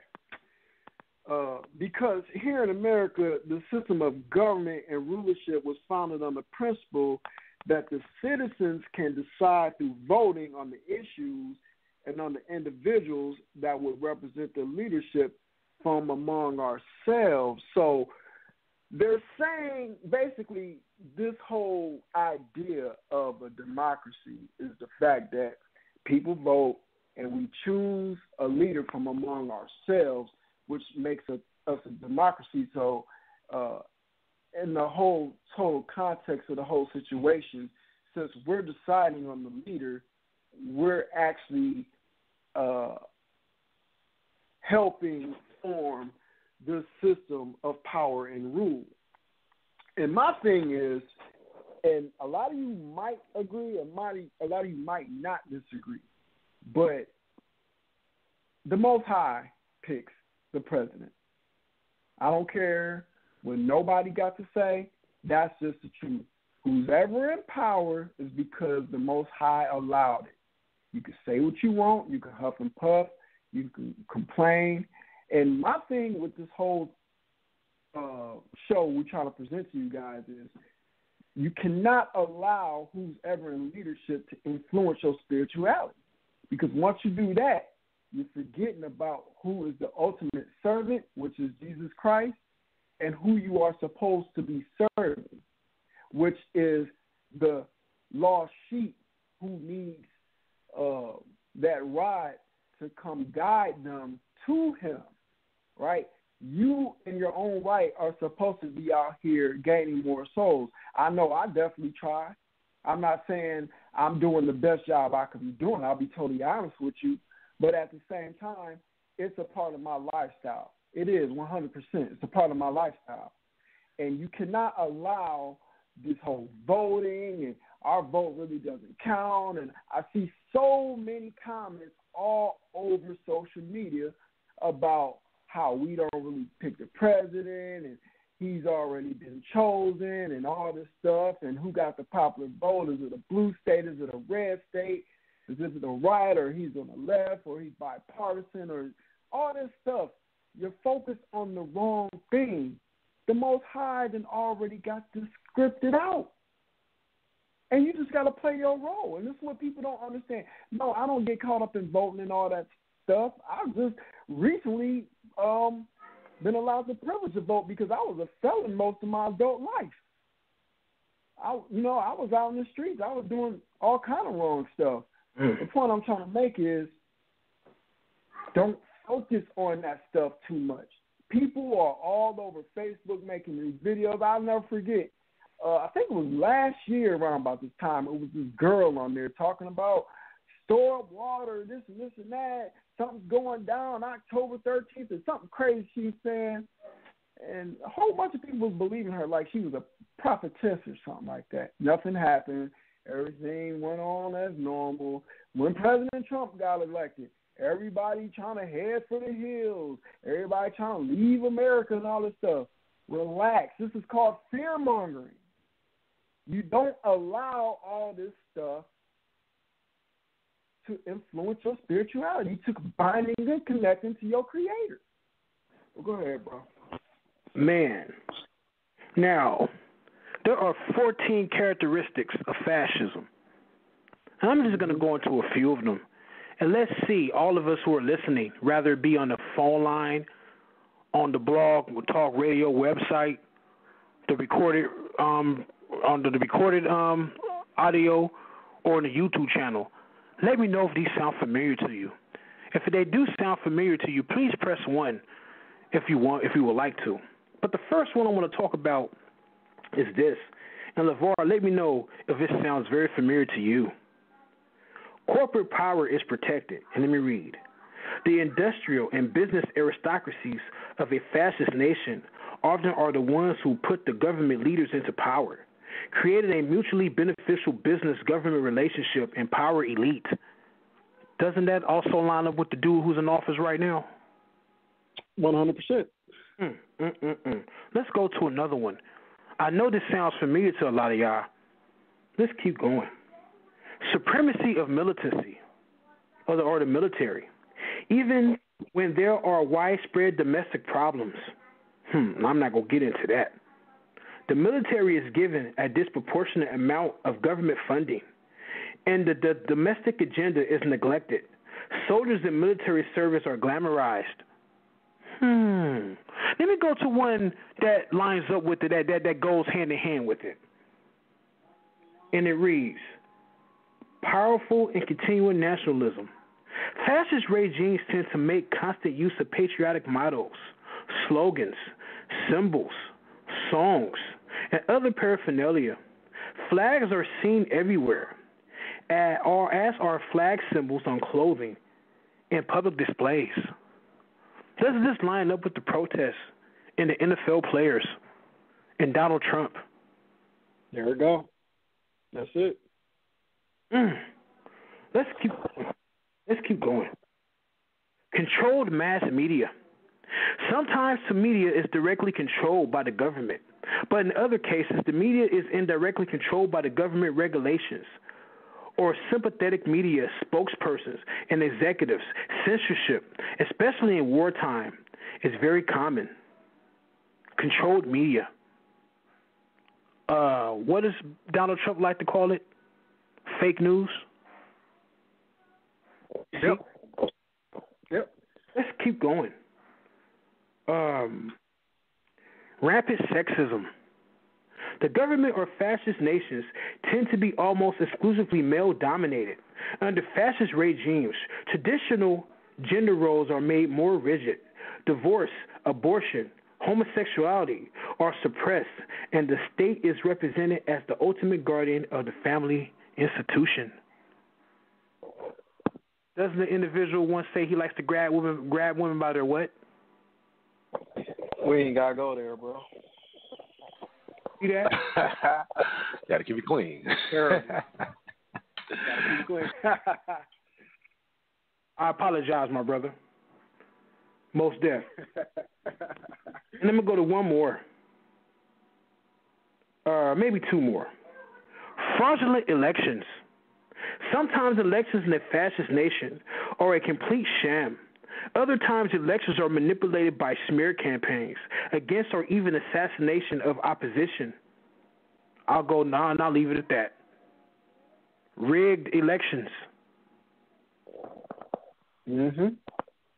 Talks about what what's what's dude's name before Obama in the recount. Uh oh. Yeah. And one more. The police is called obsession with crime and punishment.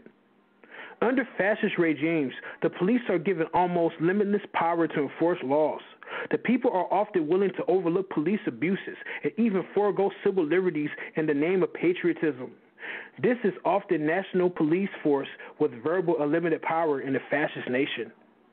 Doesn't that sound familiar? All too familiar with, I hate to say it, people of color in this so called great nation. Mm. And as you can see, these characteristics are out there. And I know a lot of people can identify with them. They either have witnessed it themselves personally or they can see it from a distance. But never but no matter what, it's evident and it's right there. and our government officials, along with our religious people, are turning a blind eye to it. Not all of them, but a good portion of them are turning a blind eye. If Yeshua the Christ was walking around this modern day era, he would correct it and call it out for what it is. If the Bible prophets were walking around in this modern day time, they would call it out for what it is. If Moses was walking around in this day and age, he would call it for what it is. What do you think Moses was doing when he walked through Egypt? You think he was walking around jumping in at a party? He walked into a empire, a feudal empire, and he was walking amongst his enemies. What do empires do? Empires rule over the poor. They rule over their citizens, and they subject them to unjust laws, to where a few gain and majority are lacking.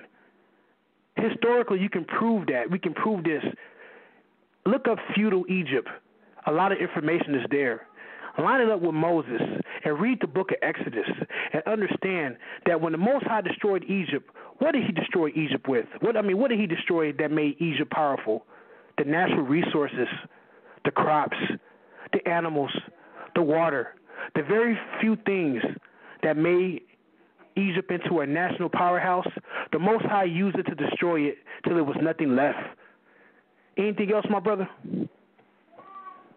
Well, just to piggyback off your point, and people wonder how Egypt became a superpower, how America became a superpower. They did the same thing pretty much what China is doing right now. After war 1812, what happened was, well, that, by the way, that was a war that uh, the United States almost lost, and the reason why is because they didn't provide their soldiers with shoes. They wasn't mass producing the shoes and the weaponry and all these things. So after that war was over, over what happened was uh, uh, the, the leaders at that time pretty much understood that no only way we can uh, gain power or you know be a self-sufficient nation is if we take our raw materials and start using them as goods and services to trade around the world. And this is how this is the beginning or the genesis of how America came to power and become the superpower it is. I mean, you see the technological advances today that America has with its weaponry, you know, the planes, everything we have, you know what I'm saying? It all started from that point. So what the brother just described was Egypt at a time being the superpower when the Most High took away those raw materials, their crops, everything they had. I mean, America had cotton and all these things that America had. When those things are taken away, you do what? You fall. Because see what happened with the king of Egypt at that time. Well, the brother read earlier what his mindset was. I will ascend above the clouds. I will be like the Most High. See, that was the type of attitude Pharaoh had. He was prideful. You see what I'm saying? Uh, the the book lines up with everything that we're saying right now.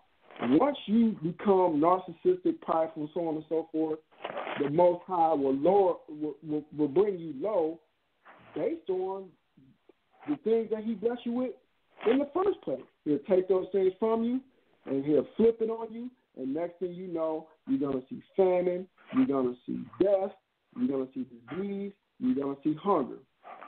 Yeah, boy. Mm. Let's turn to Psalms chapter 10. And before we read Psalms chapter 10, we have one caller. So, LaVar, you mind taking the caller real quick and then we can move on to Psalms chapter 10? Go ahead. All right, Sal. Let's do it. All right, we're going to the phone lines, Stanley. Uh, if you're already called in, just simply press number one. We'll add you in. If you're listening on the internet, you have to dial that number, 319-527-6239, and press number one. That lets me know that you have a question or a comment. Remember, for those those, those that are new to the show, you got to keep it clean, keep it professional. Let's go to 510-917. You're live. Uh, hey, uh, shalom, everybody. This is uh, Vinny D. Uh, happy Yo! happy uh, Day of Atonement to y'all. What's happening? What's the word, my dude? What's up, town business? Oh, not much, you know. Hey, I'm just uh, calling in to support the show. I've been listening in, and uh, I've been uh, vibing with what y'all been saying. You know, uh, what makes me think about it is like when the people of power, when Christ came, how the uh, the people of, in charge of over Israel, they didn't want Christ to, uh, you know, they wanted to shut him up because they knew that it would take away their power, you know. And I think that the system that you know these American politics is a system that is set up just to keep the people that's on top on top, kind of like how the uh, Pharisees and all them was. So, right. I think personally, I think that they they go against the laws or basically the instruction because they know that once the people get a hold of those, then it'll turn, and then just by default, everybody will stop even dealing with them.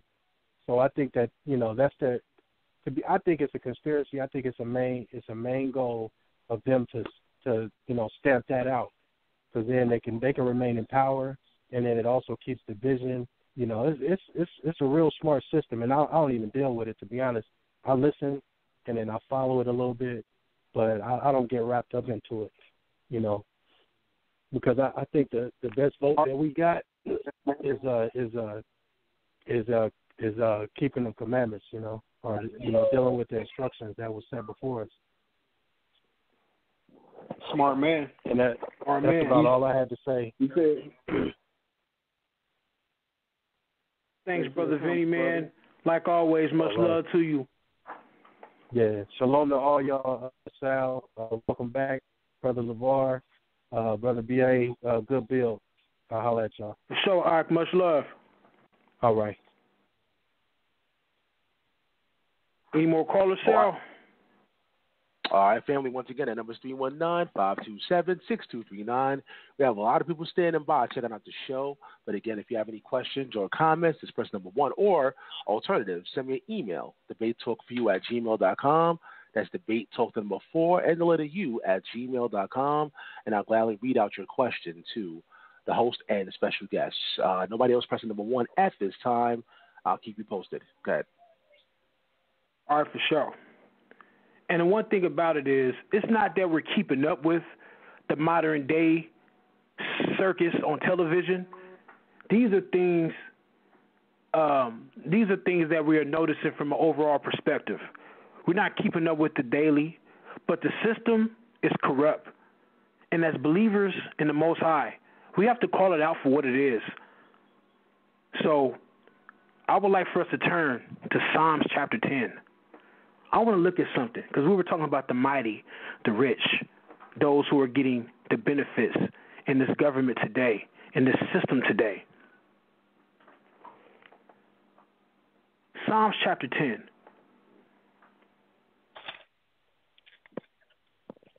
mm-hmm.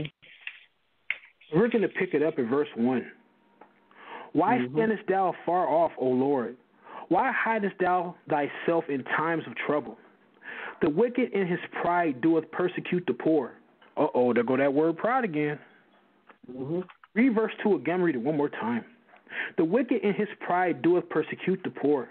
Let them that be taken in the de- devices that they have imagined. For the wicked boasteth of his heart's desire, and blesseth the covetousness, whom the Lord abhorred. The wicked through the pride of his countenance will not seek after God. God is not in all his thoughts. His ways are always grievous. Thy judgments are far about of his sight. As for all his enemies, he puffeth at them. He hath said in his heart, I shall not be moved. I shall be never. I shall never be an adver- adverse, adversary, adversity, an adversity. I believe. His mouth is full of cursing and deceit and fraud. Under his tongue is mischief and vanity. He sitteth in lurking places of the villages, in the secret places doeth he murder the innocent. His eyes are pri- privately set against the poor. Wow. Think about it. If we're talking about the poor, what is the psalmist, the writer that is recording what King David is saying? Who could we identify who the wicked are? The rich. Now, we don't have a problem with being rich, but being rich and having great wealth, wealth becomes a problem when you're consumed by greed. Exactly. Man, when greed is at an all time high, in this country and everywhere else, it becomes a problem. And we got another caller. So let's just, uh, if you don't mind, LaVar, before we go to that caller, you got any comments on that? Yes. Consumerism is a religion mm. in today's modern America. Go ahead. Most deaf consumerism. Look that up. There's a song by Lauryn Hill called Consumerism. It's very powerful. I suggest everybody listen to it. It's real deep and it's real powerful. So Sal, let's go to that caller real quick. All right, once again, family, it's the Man Up segment right here on Debate Talk for you. For those that are joining in, today's show is entitled American Politics and Its Influence on Spirituality. My special guest is LaVar Maben. Of course, the show is hosted by BA. The number is 319 527 6239. By the way, family, we have 10 minutes on the air. We have 10 minutes on the air. What that means is if you're listening on the internet, if you're listening via social media, once that time runs out, the only way you can hear the rest of the show is by dialing in. Again, if you want to hear the rest of the show, an overtime portion, you have to call in before that time runs out. We have 10 minutes on the air. So, again, the number to call in and hear the rest of the show, 319 527 6239. You should put it on speed dial by now on your phones. but uh, nobody's standing by right now. You can continue. Okay.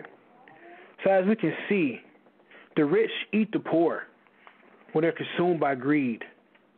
Let's go to James chapter 2. We're going to go to the apostles. Yep, I said it. We're going to go to the apostles. We're going to go to James chapter 2. And we're going to see what the apostle has to say. And we know we're in the era where people hate the New Testament. But let's see what James has to say.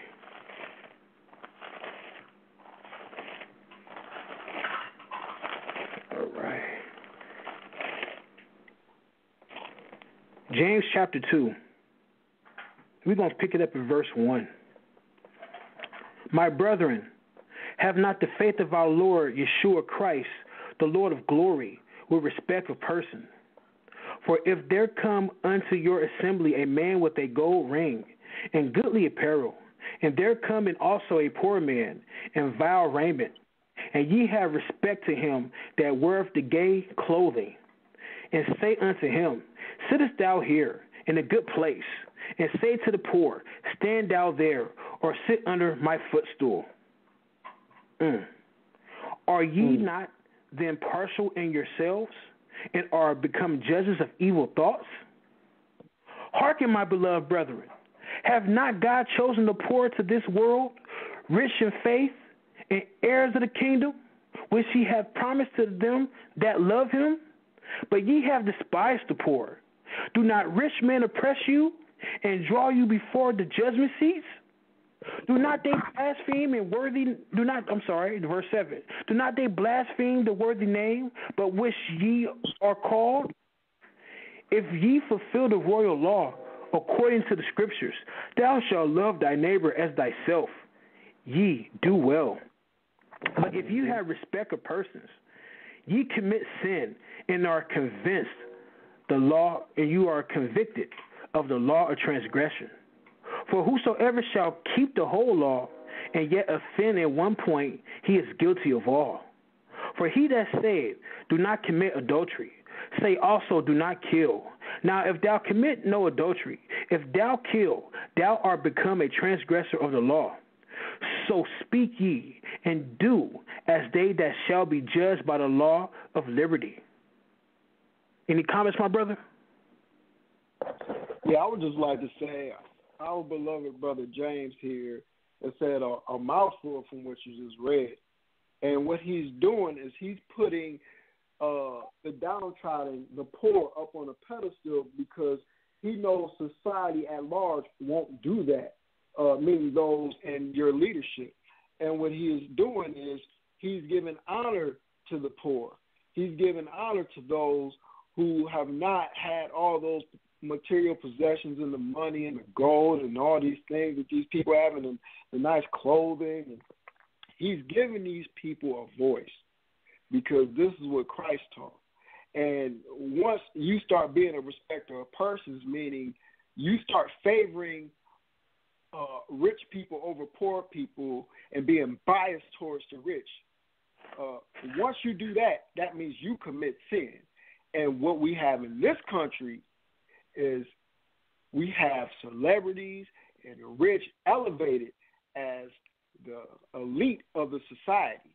And these people are nothing but adulterers. A lot of these people are just drug addicts, you know what I'm saying, man whores, what have you and we praising these people like they are gods.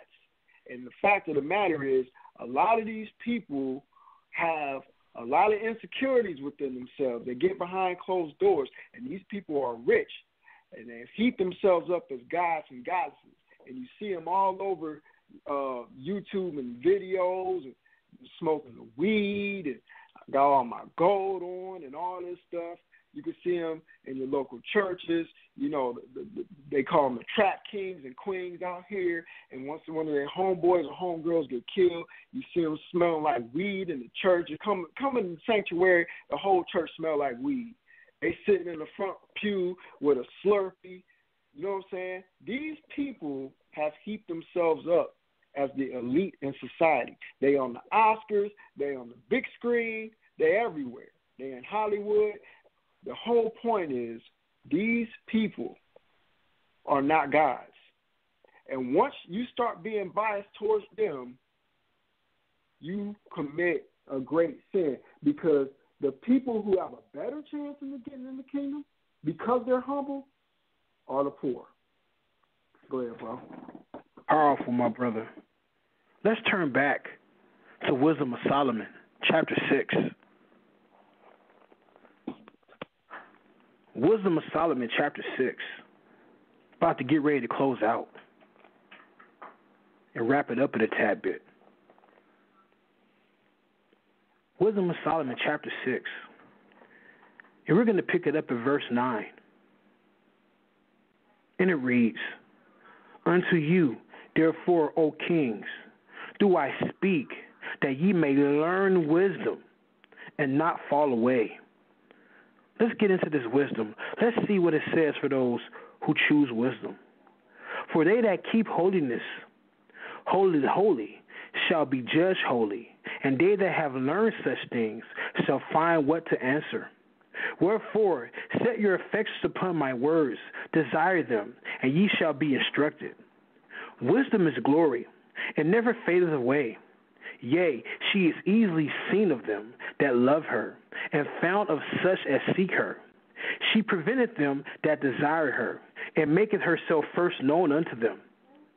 Whoso seeketh her caref- eagerly shall have no great travail, for he shall find her sitting at his doors.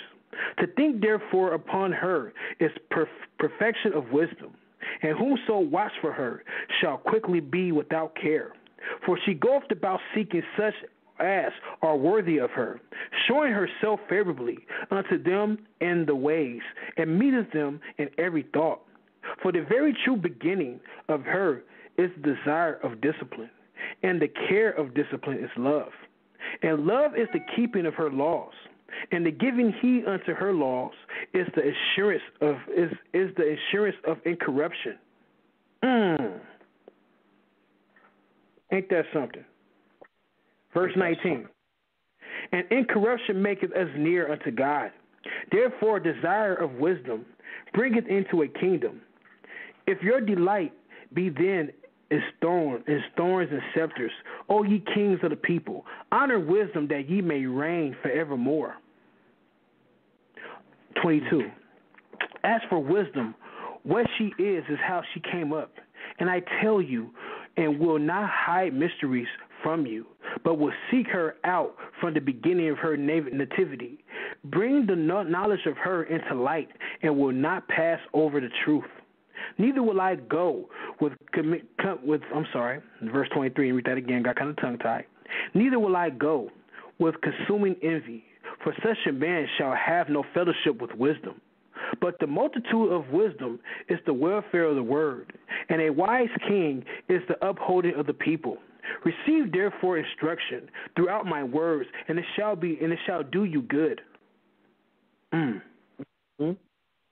You see how much wisdom is for the king, for the leader, for the so-called religious or spiritual leader? Wisdom will take you a long way with the Most High. Mm-hmm. Doesn't it say, I, Luke? I'm sorry. Go ahead, brother. Oh, I was saying I agree, and I got some wisdom to read too, if you don't mind. Oh, go right ahead, my brother. The floor is yours. Just real quick, I love this uh, sixth chapter of the Wisdom of Solomon because it's breaking down wisdom, and it's breaking down the influence of wisdom on what it is and how it relates to somebody in leadership. And I love why the brother brought this out because earlier I was saying a couple things. I said number one you shouldn't be mad about who's in office because the Most High put them there. Uh, Romans 3 13 and 1 says, Let every soul be subject unto the higher powers, for there is no power but of God. The powers that be are ordained of God. That's some wisdom for you right there. Okay, and this is why I said you ought to pray for Donald Trump out of all the things that we said about him, we ain't lying on the man, but this is why you should pray for Donald Trump. Let's go to Proverbs 21 and 1, and it says, The king's heart is in the hand of the Lord as the rivers of water. He turns it whithersoever he will. So this is why you should pray for Donald Trump, is so that his heart can be controlled by the Most High. If if his heart is in the Most High's hands, he'll make better decisions. All those ignorant things that he said, he'll be apologetic about it. And guess what? He'll be sincere about it. And not only will he be sincere, you will have to understand that everybody used to have a dark heart for the most part. We all been there. And all of us need forgiveness and all of us need sanctification. You cannot act like you are so high and mighty that you have never done anything in your life. You have to be able to pray for those who you don't agree with in leadership. First Timothy uh, two and one says, "Exhort therefore that first of all supplications, prayers, intercessions and giving of thanks be made of all men. Verse 2 For kings and for all that are in authority, that we may lead a quiet and peaceful life in all godliness and honesty. Intercessions be made for kings. That's prayers. So we got to understand it's not what we want, it's what the Most High wants. It's not what we think we should be doing, it's what He said we should be doing and these are the apostles, uh, Paul, and I read from um, Proverbs.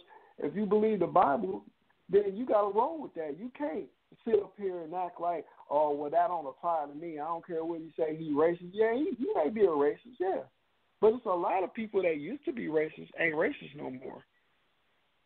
And guess what happens? That's the power of God right there. Go ahead, bro. Man, powerful words, my brother. And my man Sal, just want to ask you real quick. We got any callers? Press the one, or we, or we still uh, got a? Are we just still? Uh, I mean, we got any callers? Yeah, thank you,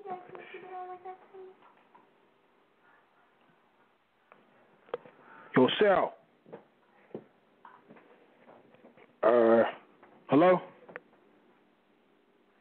Yeah, I'm still here, brother. I'll, Sal be taking these trips away from the phone sometimes. You know how he do. yeah, he probably uh had to step away for a quick second. All right, what we gonna do? Let's see here. Man, like I was saying earlier, wisdom would take us a long way if we do it properly. Because we know wisdom is a gift and a characteristic of the Most High. It's something that He gives to man. It also said that Yeshua, He grew in wisdom. So for him to be the righteous ruler of Israel and to be king and priest, he had to have he had to rule in wisdom while he was here on earth to earn his eternal position in sitting in the throne. Mm-hmm. The world. Go ahead, bro. No, I was going to say that I agree, and there, I'm telling you, man, there's there's no shortage of thoughts that I have about this because, you know, I, I read an article about a young teenager, and this is educational politics right here. Mm. She was a straight A student, um, you know, a bright student. She was a person of color, but um, they had a problem with this young sister's hair. Who in the world is voting in legislation to ban natural hair in politics?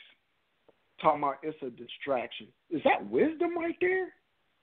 Is that sound doctor? This this is straight A student right here, and they're telling her, "Oh, you can't wear your hair like this. It's a distraction and all this type of stuff." And see, this is this is another uh, part of racial politics too, because they try to make everything about certain people wrong. Like it's natural, it's natural and it's God given, but they try to make it wrong and try to make laws against it. Is this wisdom? Does that does that sound like sound doctrine to you? I mean, again, there's, there's no shortage of stories like this all across America where you have Harvard discrimination discriminating against Asians at that particular university. Why? Because Asians are testing higher than any other race of people, and what they're doing is they're setting the bar higher. Well, I won't even say higher. What they're doing is changing the politics within the university. Now you got to sit down and get interviewed, and if and if you're not what they call uh, I can't remember the term they use, but if you if you don't have a particular character base that they're looking for, no matter how high you score, and you're an Asian, you can't come to Harvard. These are facts. You can look this stuff up. So now these racial politics, this is not wisdom, man. You know what I'm saying? And and and the reason why I'm bringing this stuff up is because this country has been a cesspool of hatred towards certain people, and it's been a cesspool of ignorance, and they're just making up laws as they go along. Like I mentioned earlier about changing the definition of marriage. Marriage has always been a public institution between a man and a woman. If if uh, people of, of, of same-sex relations uh, want to be together, okay, you you can't have five lawyers redefining the terms based upon the sensitivity of people, especially when they say that this this country was founded upon biblical principles. But I ain't gonna rant too much more. Go ahead, bro. It's funny how you say the country was built on biblical principles, where they claim. They say it was built on the Ten Commandments, but as you can see, that's, that's very contrary. Yeah. So Sal, you made it back, my man.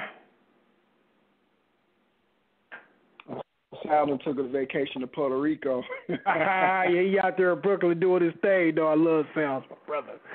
Well, man, this is what I want to do. I want to get back I want to talk about a cult following because we're dealing with our politicians and our religious leaders. I'm going to read an excerpt from a book that I read 13, 14 years ago. I was walking in a bookstore and this book caught my attention. It was an orange and blue book. And it caught my attention and ever since I read it since then I've been hooked because I can see how this book is systematically being used on us, on our people, on all people in society today. It's called The 48 Laws of Power. A lot of people are familiar with that book. And we're going to go to Law chapter 27. Law. It's called Law 27. And the name of the law is play on people's need to believe to create a cult like following. And it starts with judgment. And as I read some, brother, I'll take a pause and you can expound if you would like. All right, my brother? That's fine. Now, after this, we're going to pretty much wrap it up. And it says judgment, and it reads People have an over, overwhelming desire to believe in something. Become the focal point of such desire by offering them a cause, a new faith to follow. Keep your words vague, but full of promise. Emphasize enthusiasm over rationality and clear thinking. Give your new disciples rituals to perform. Ask them to make sacrifices on your behalf. In the absence of organized religion and grand causes, your new belief system will bring you untold power. Hmm, that sounds familiar, does it not? Yes, it does. Let's keep going. The Science of the Charlatanism, or How to Create a Cult in Five Easy Steps. Check this out. Peep game, all right? And peep game to the audience. And much love to those tuning in. In searching, as you must, for the methods that will gain you the most power for the least effort, you will find the creation of a cult like following, one of the most effective. Having a large following opens up all sorts of possibilities for deception. Not only will your followers worship you, they will defend you from your enemies and will voluntarily take on the work of enticing of enticing others to join the fledgling cult. This kind of power will lift you to another to another realm. You will no longer have to struggle or use sabotage to enforce your will. You are adored and can do no wrong. You might you might think it as a gargantuan task to create such a following, but in fact, it is fairly simple. As humans, we have a desperate need to believe in something, in, in, in something, anything. This makes us eminently gullible. We simply cannot endure long periods of doubt or of the emptiness that comes from the lack of something. To believe in. Dangle in front of us some new cause, elixir, get rich get get rich quick scheme or at least technological trends or art movement and we leap from the water as one to take the bait. Look at history the chronicles of the new trends and cults that have made a manifest I mean made a mass following for themselves. Could fill a library after a few centuries, a few decades, a few years, a few months, they generally look ridiculous, but at the time they seem so attractive, so transcendental, so divine, always in a rush to believe in something. Mm-hmm. We would manufacture saints and face out and faith out of nothing. Do not let guilt. I'm sorry. Hold on. Do not let the guilt the guilt liability go to waste. Make yourself the object of worship. Make people form a cult around you. The great European charlatans of the 16th and 17th centuries mastered the art of cult making. They lived as we do now, in a time of transformation. Organized religion was on the wane. Science of the science on the rise. People were desperately to rally around a new cause of faith or faith. The charlatans had begun by peddling health, elixirs, and, and, and alchemic shortcuts to wealth. Moving quickly from town to town, they originally focused on small groups until until by accident they stumbled on a truth of human nature. The large the large group they gathered around themselves, the easier it was to deceive. The charlatan would station himself on a high wooden platform, hence the term mountebank. And crowds would swarm around him, and a ground setting people were more emotional, less able to reason. Had the charlatan spoken to them individually, they might have found him ridiculous, but lost in the crowd, they got up from the com- from the communal mode of rapid attention. It became impossible for them to find a distance to be skeptical. Any deficiencies in the charlatan's ideas were hidden by the zeal of the mass. Passion and enthusiasm swept through the crowd like a contagion, and they reacted vitally to anyone who dared to spread a seed of doubt. But consciously studying this dynamic over decades of experiment and spontaneously adapting to these situations as they happened, the charlatan perfected the science of attracting and holding a crowd, molding a crowd into followers and followers into a cult. I want to stop right there. Any comments, mm-hmm. my brother? Well, number one, it reminded me of Jim Jones, hmm. um, Jonestown in South America, where he was able to persuade a plethora of people to kill themselves, and these people were vigorously indoctrinated by him. Second, it reminded me of the past two years, where if you say one bad thing about Trump to one of his followers, uh, you might get attacked, and depending on the circumstances. Those are the first two things that what you just read to me reminded me of. Mm, this, this also lines up in the religious world as well. Speak uh, out. That's why. Go ahead. Oh, well, that's why I said Jim Jones first because Mhm. he started out in a church and he was influenced by uh, the Bible, so on and so forth. He got his start in the church, and through all his indoctrinations, he did use the Bible. Go ahead. Mm. And Sal just came back in, and we have another caller. Let's address that caller real quick before we move on. Go ahead, Sal. Do your thing. All right. All right, two one three, you're live. Two one three.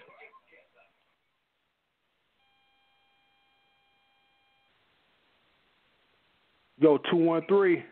Two one three four hundred, you're live. Two one three. That's uh, that's I think that's uh, that's L.A. so the Sal's like, Yeah, I guess the uh two one three. I guess they're not hearing anything. I guess we'll come back. Two one three four hundred. Are you there? Going once. Going twice. All right, we have to move on. Continue, guys. all right. Let's see. It was, and I'll keep reading. It was to the charlatan's advantage that the individuals predisposed to credibility should multiply, that the groups of its adherents should enlarge to mass proportions, guaranteeing an ever great greater scope for his triumphs, and this was in fact to occur as science was po- polarized from the Renaissance and down through succeeding centuries, with the immense growth to note, I mean, ah, with the immense growth of knowledge and its spread through printing. In modern times, the mass of the half educated, the eagerly gullible prey of the quack, also increased, became indeed a majority. Real power could be based on their wishes, opinions, preferences, and rejections.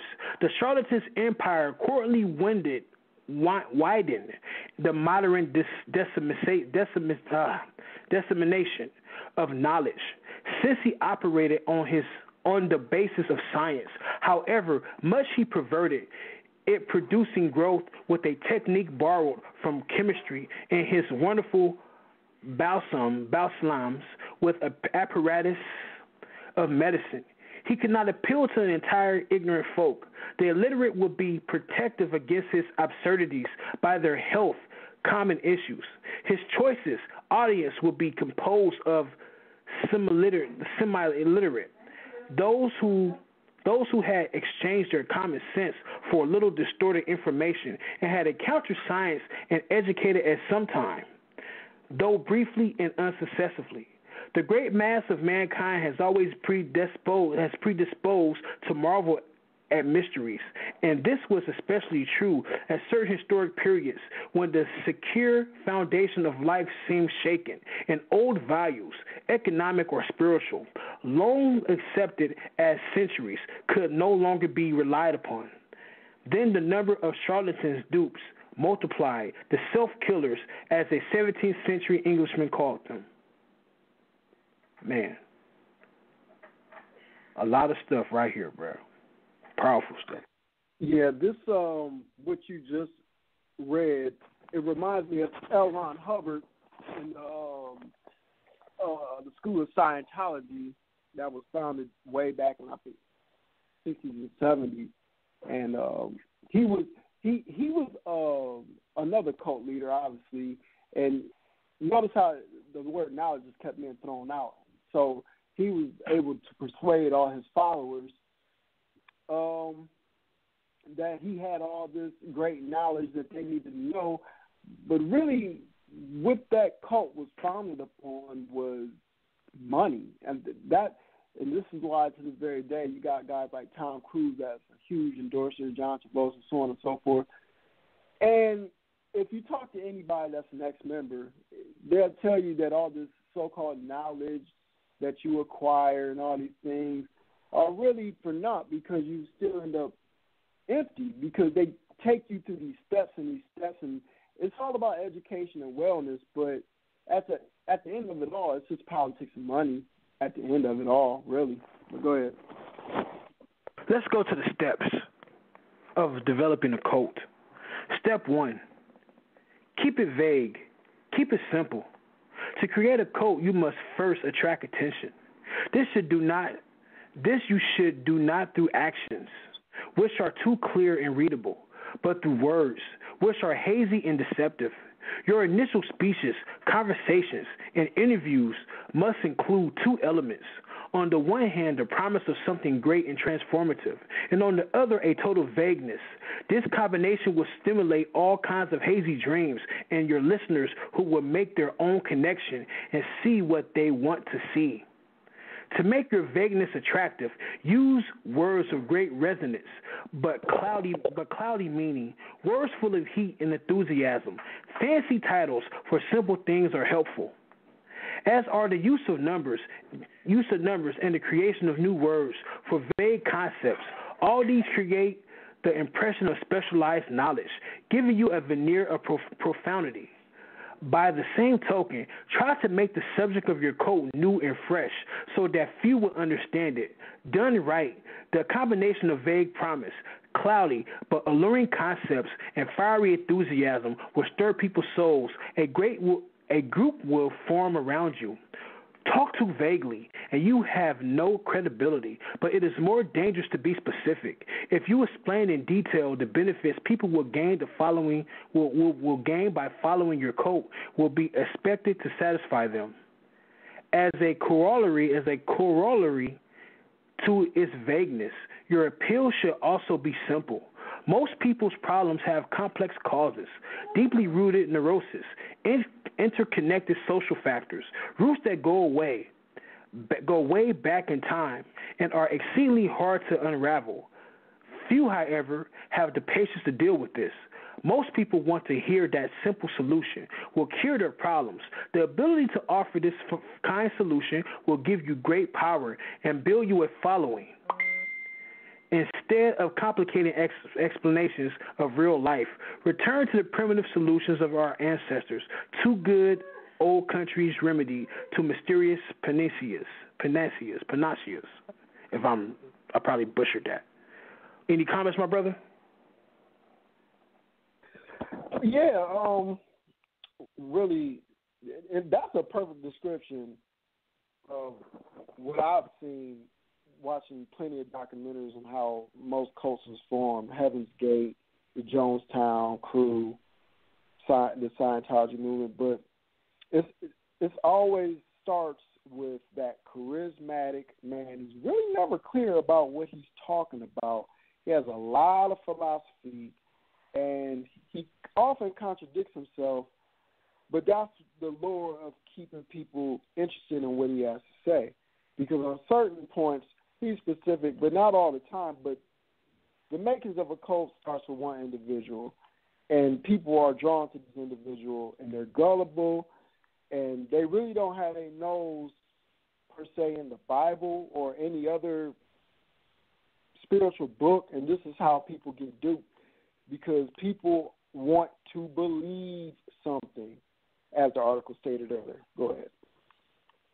Okay, we're about to wrap it up in just a minute. I'm going to read one more paragraph, and we're going to call it a night. Let me get to it real quick. Yes. Step two emphasize the visual and the sensual over the intellectual. Once people have begun to gather around you, two dangers will present themselves boredom and skepticism. Boredom will make people go elsewhere. Skepticism will allow them the dist- will allow them the distance to think rationally about whatever it is you are offering, blowing away the myths you have artfully created and revealing your ideas for what they are. You need a muse. You need you need to muse the board. Then ward off the cynics, and cynics are those who criticize. And you know that is commonly going on within Israel, especially when it comes to certain doctrines. Mm-hmm. and I want to read one more, and I'm finished. Step three borrow the forms of organized religion to structure the group. Your cult like following is growing. It is time to organize it. Find a way to elevate and comfort and comforting. Organized religion have long held unquestioned authority for large numbers of people and continue to do so in our supposedly secular age. And even if the religion itself has faded some, its forms still resonate with the power, the lofty, the unholy associations of organized religion can be endlessly exploited. Create rituals for your followers. Organize them into a hierarchy, ranking them in grades of sanctity, and giving them names and titles that resound with religious overtones. Asking them for sacrifices that will fill your coffers and increase your power. To emphasize your gathering quasi religious nature. Talk and act like a prophet. You are not a dictator. After all, you are a priest, a guru, a sage, a shaman, or any other word that hides your real power in the midst of religion. Wow. That resonates a lot. Yes, it does. And it speaks volumes. And we see that daily. Yeah. Society. And with that being said, we're getting low on time. We would like to see if any callers would like to press one and chime in and just speak on the matter. What's up with it though? Anybody? What's the word? All right, we're waiting for people to press number one. Uh, we appreciate everybody that called in for the overtime portion of the show. Again, that number is 319-527-6239. Other than that, we could pretty much get some last words, and uh, nobody's pressing number one. So, go ahead, BA. All right, my man LaVar, do your thing. And after me, I mean, do your thing first, and I'm gonna do me, and then Sal, we're gonna take it out. Yeah, I just uh, thank you guys for the opportunity for me to come on here, and um, I'll hopefully everybody learned something. You know what I mean? It's been a while since I've been on the show. Uh, hopefully, I get my voice heard again. Uh, just peace to everybody that listened in. I don't have too much more to say, and I just thank you guys for the opportunity. Uh, peace and blessings to all those who follow the Most High in Christ. Peace. Man, thank you, Brother LaVar. First and foremost, I would like to thank the Almighty and Eternal and the unseen force known as El Elyon. Praise Him. Much love and thanks to His holy, only anointed messenger known as Yeshua the Christ. Much love to my man Sal. Much love to everybody that was listening. We hope this information was very vital. We hope and pray it is, and we hope and pray it was. And like I said, it was a long summer. I've been anxious to get more information out. The Man Up segment is going to stay active. I would like to reach out to the community, whether you be Christian or Hebrew or whatever denomination you choose to go by. Hit my line. Let me know the topics you want to bring out. This is a very interesting bill with my man LaVar. Much love to uh, to the absolute Bible truth. Much love to the Knesset of Yeshua, Zadok, Judah, Tim, Ephraim, and the rest of the family. And be on the lookout for the second quarter coming up September 26th. It'll be a show that me and my sis will be hosting. We're going to deliver much more information. And the topic will be exposing Gnosticism. Again, exposing narcissism. The name of the show is called The Second Quarter. Me and my sister Ashanti Doc, we finna go in. This season plans to be a strong season where the debate talk for you we're, swinging and we got the momentum and we're taking charge. And with that being said, yo, Sal, I can feel it in the air. I'm going to fall back though. All right, I got you, man. Hopefully, everybody enjoyed that Man Up segment. And go to the archives, of course, on YouTube. Support the brand. Check us out. For those that don't know, by the way, we have a show tomorrow, family. Yes, we have a show tomorrow. The hot seat is back. That's right. the hot seat. We have a special guest in the hot seat. And for those who don't know, that's the show where I invite a special guest and you call in from beginning to end and ask all your questions to whoever I invite. And that special guest tomorrow is Devon Mays. So make sure you tune in Whoa. tomorrow, 8 p.m. Eastern Time. Get your, get your questions in and make sure you call in. So we see you guys tomorrow. Take care and y'all bless. Shalom.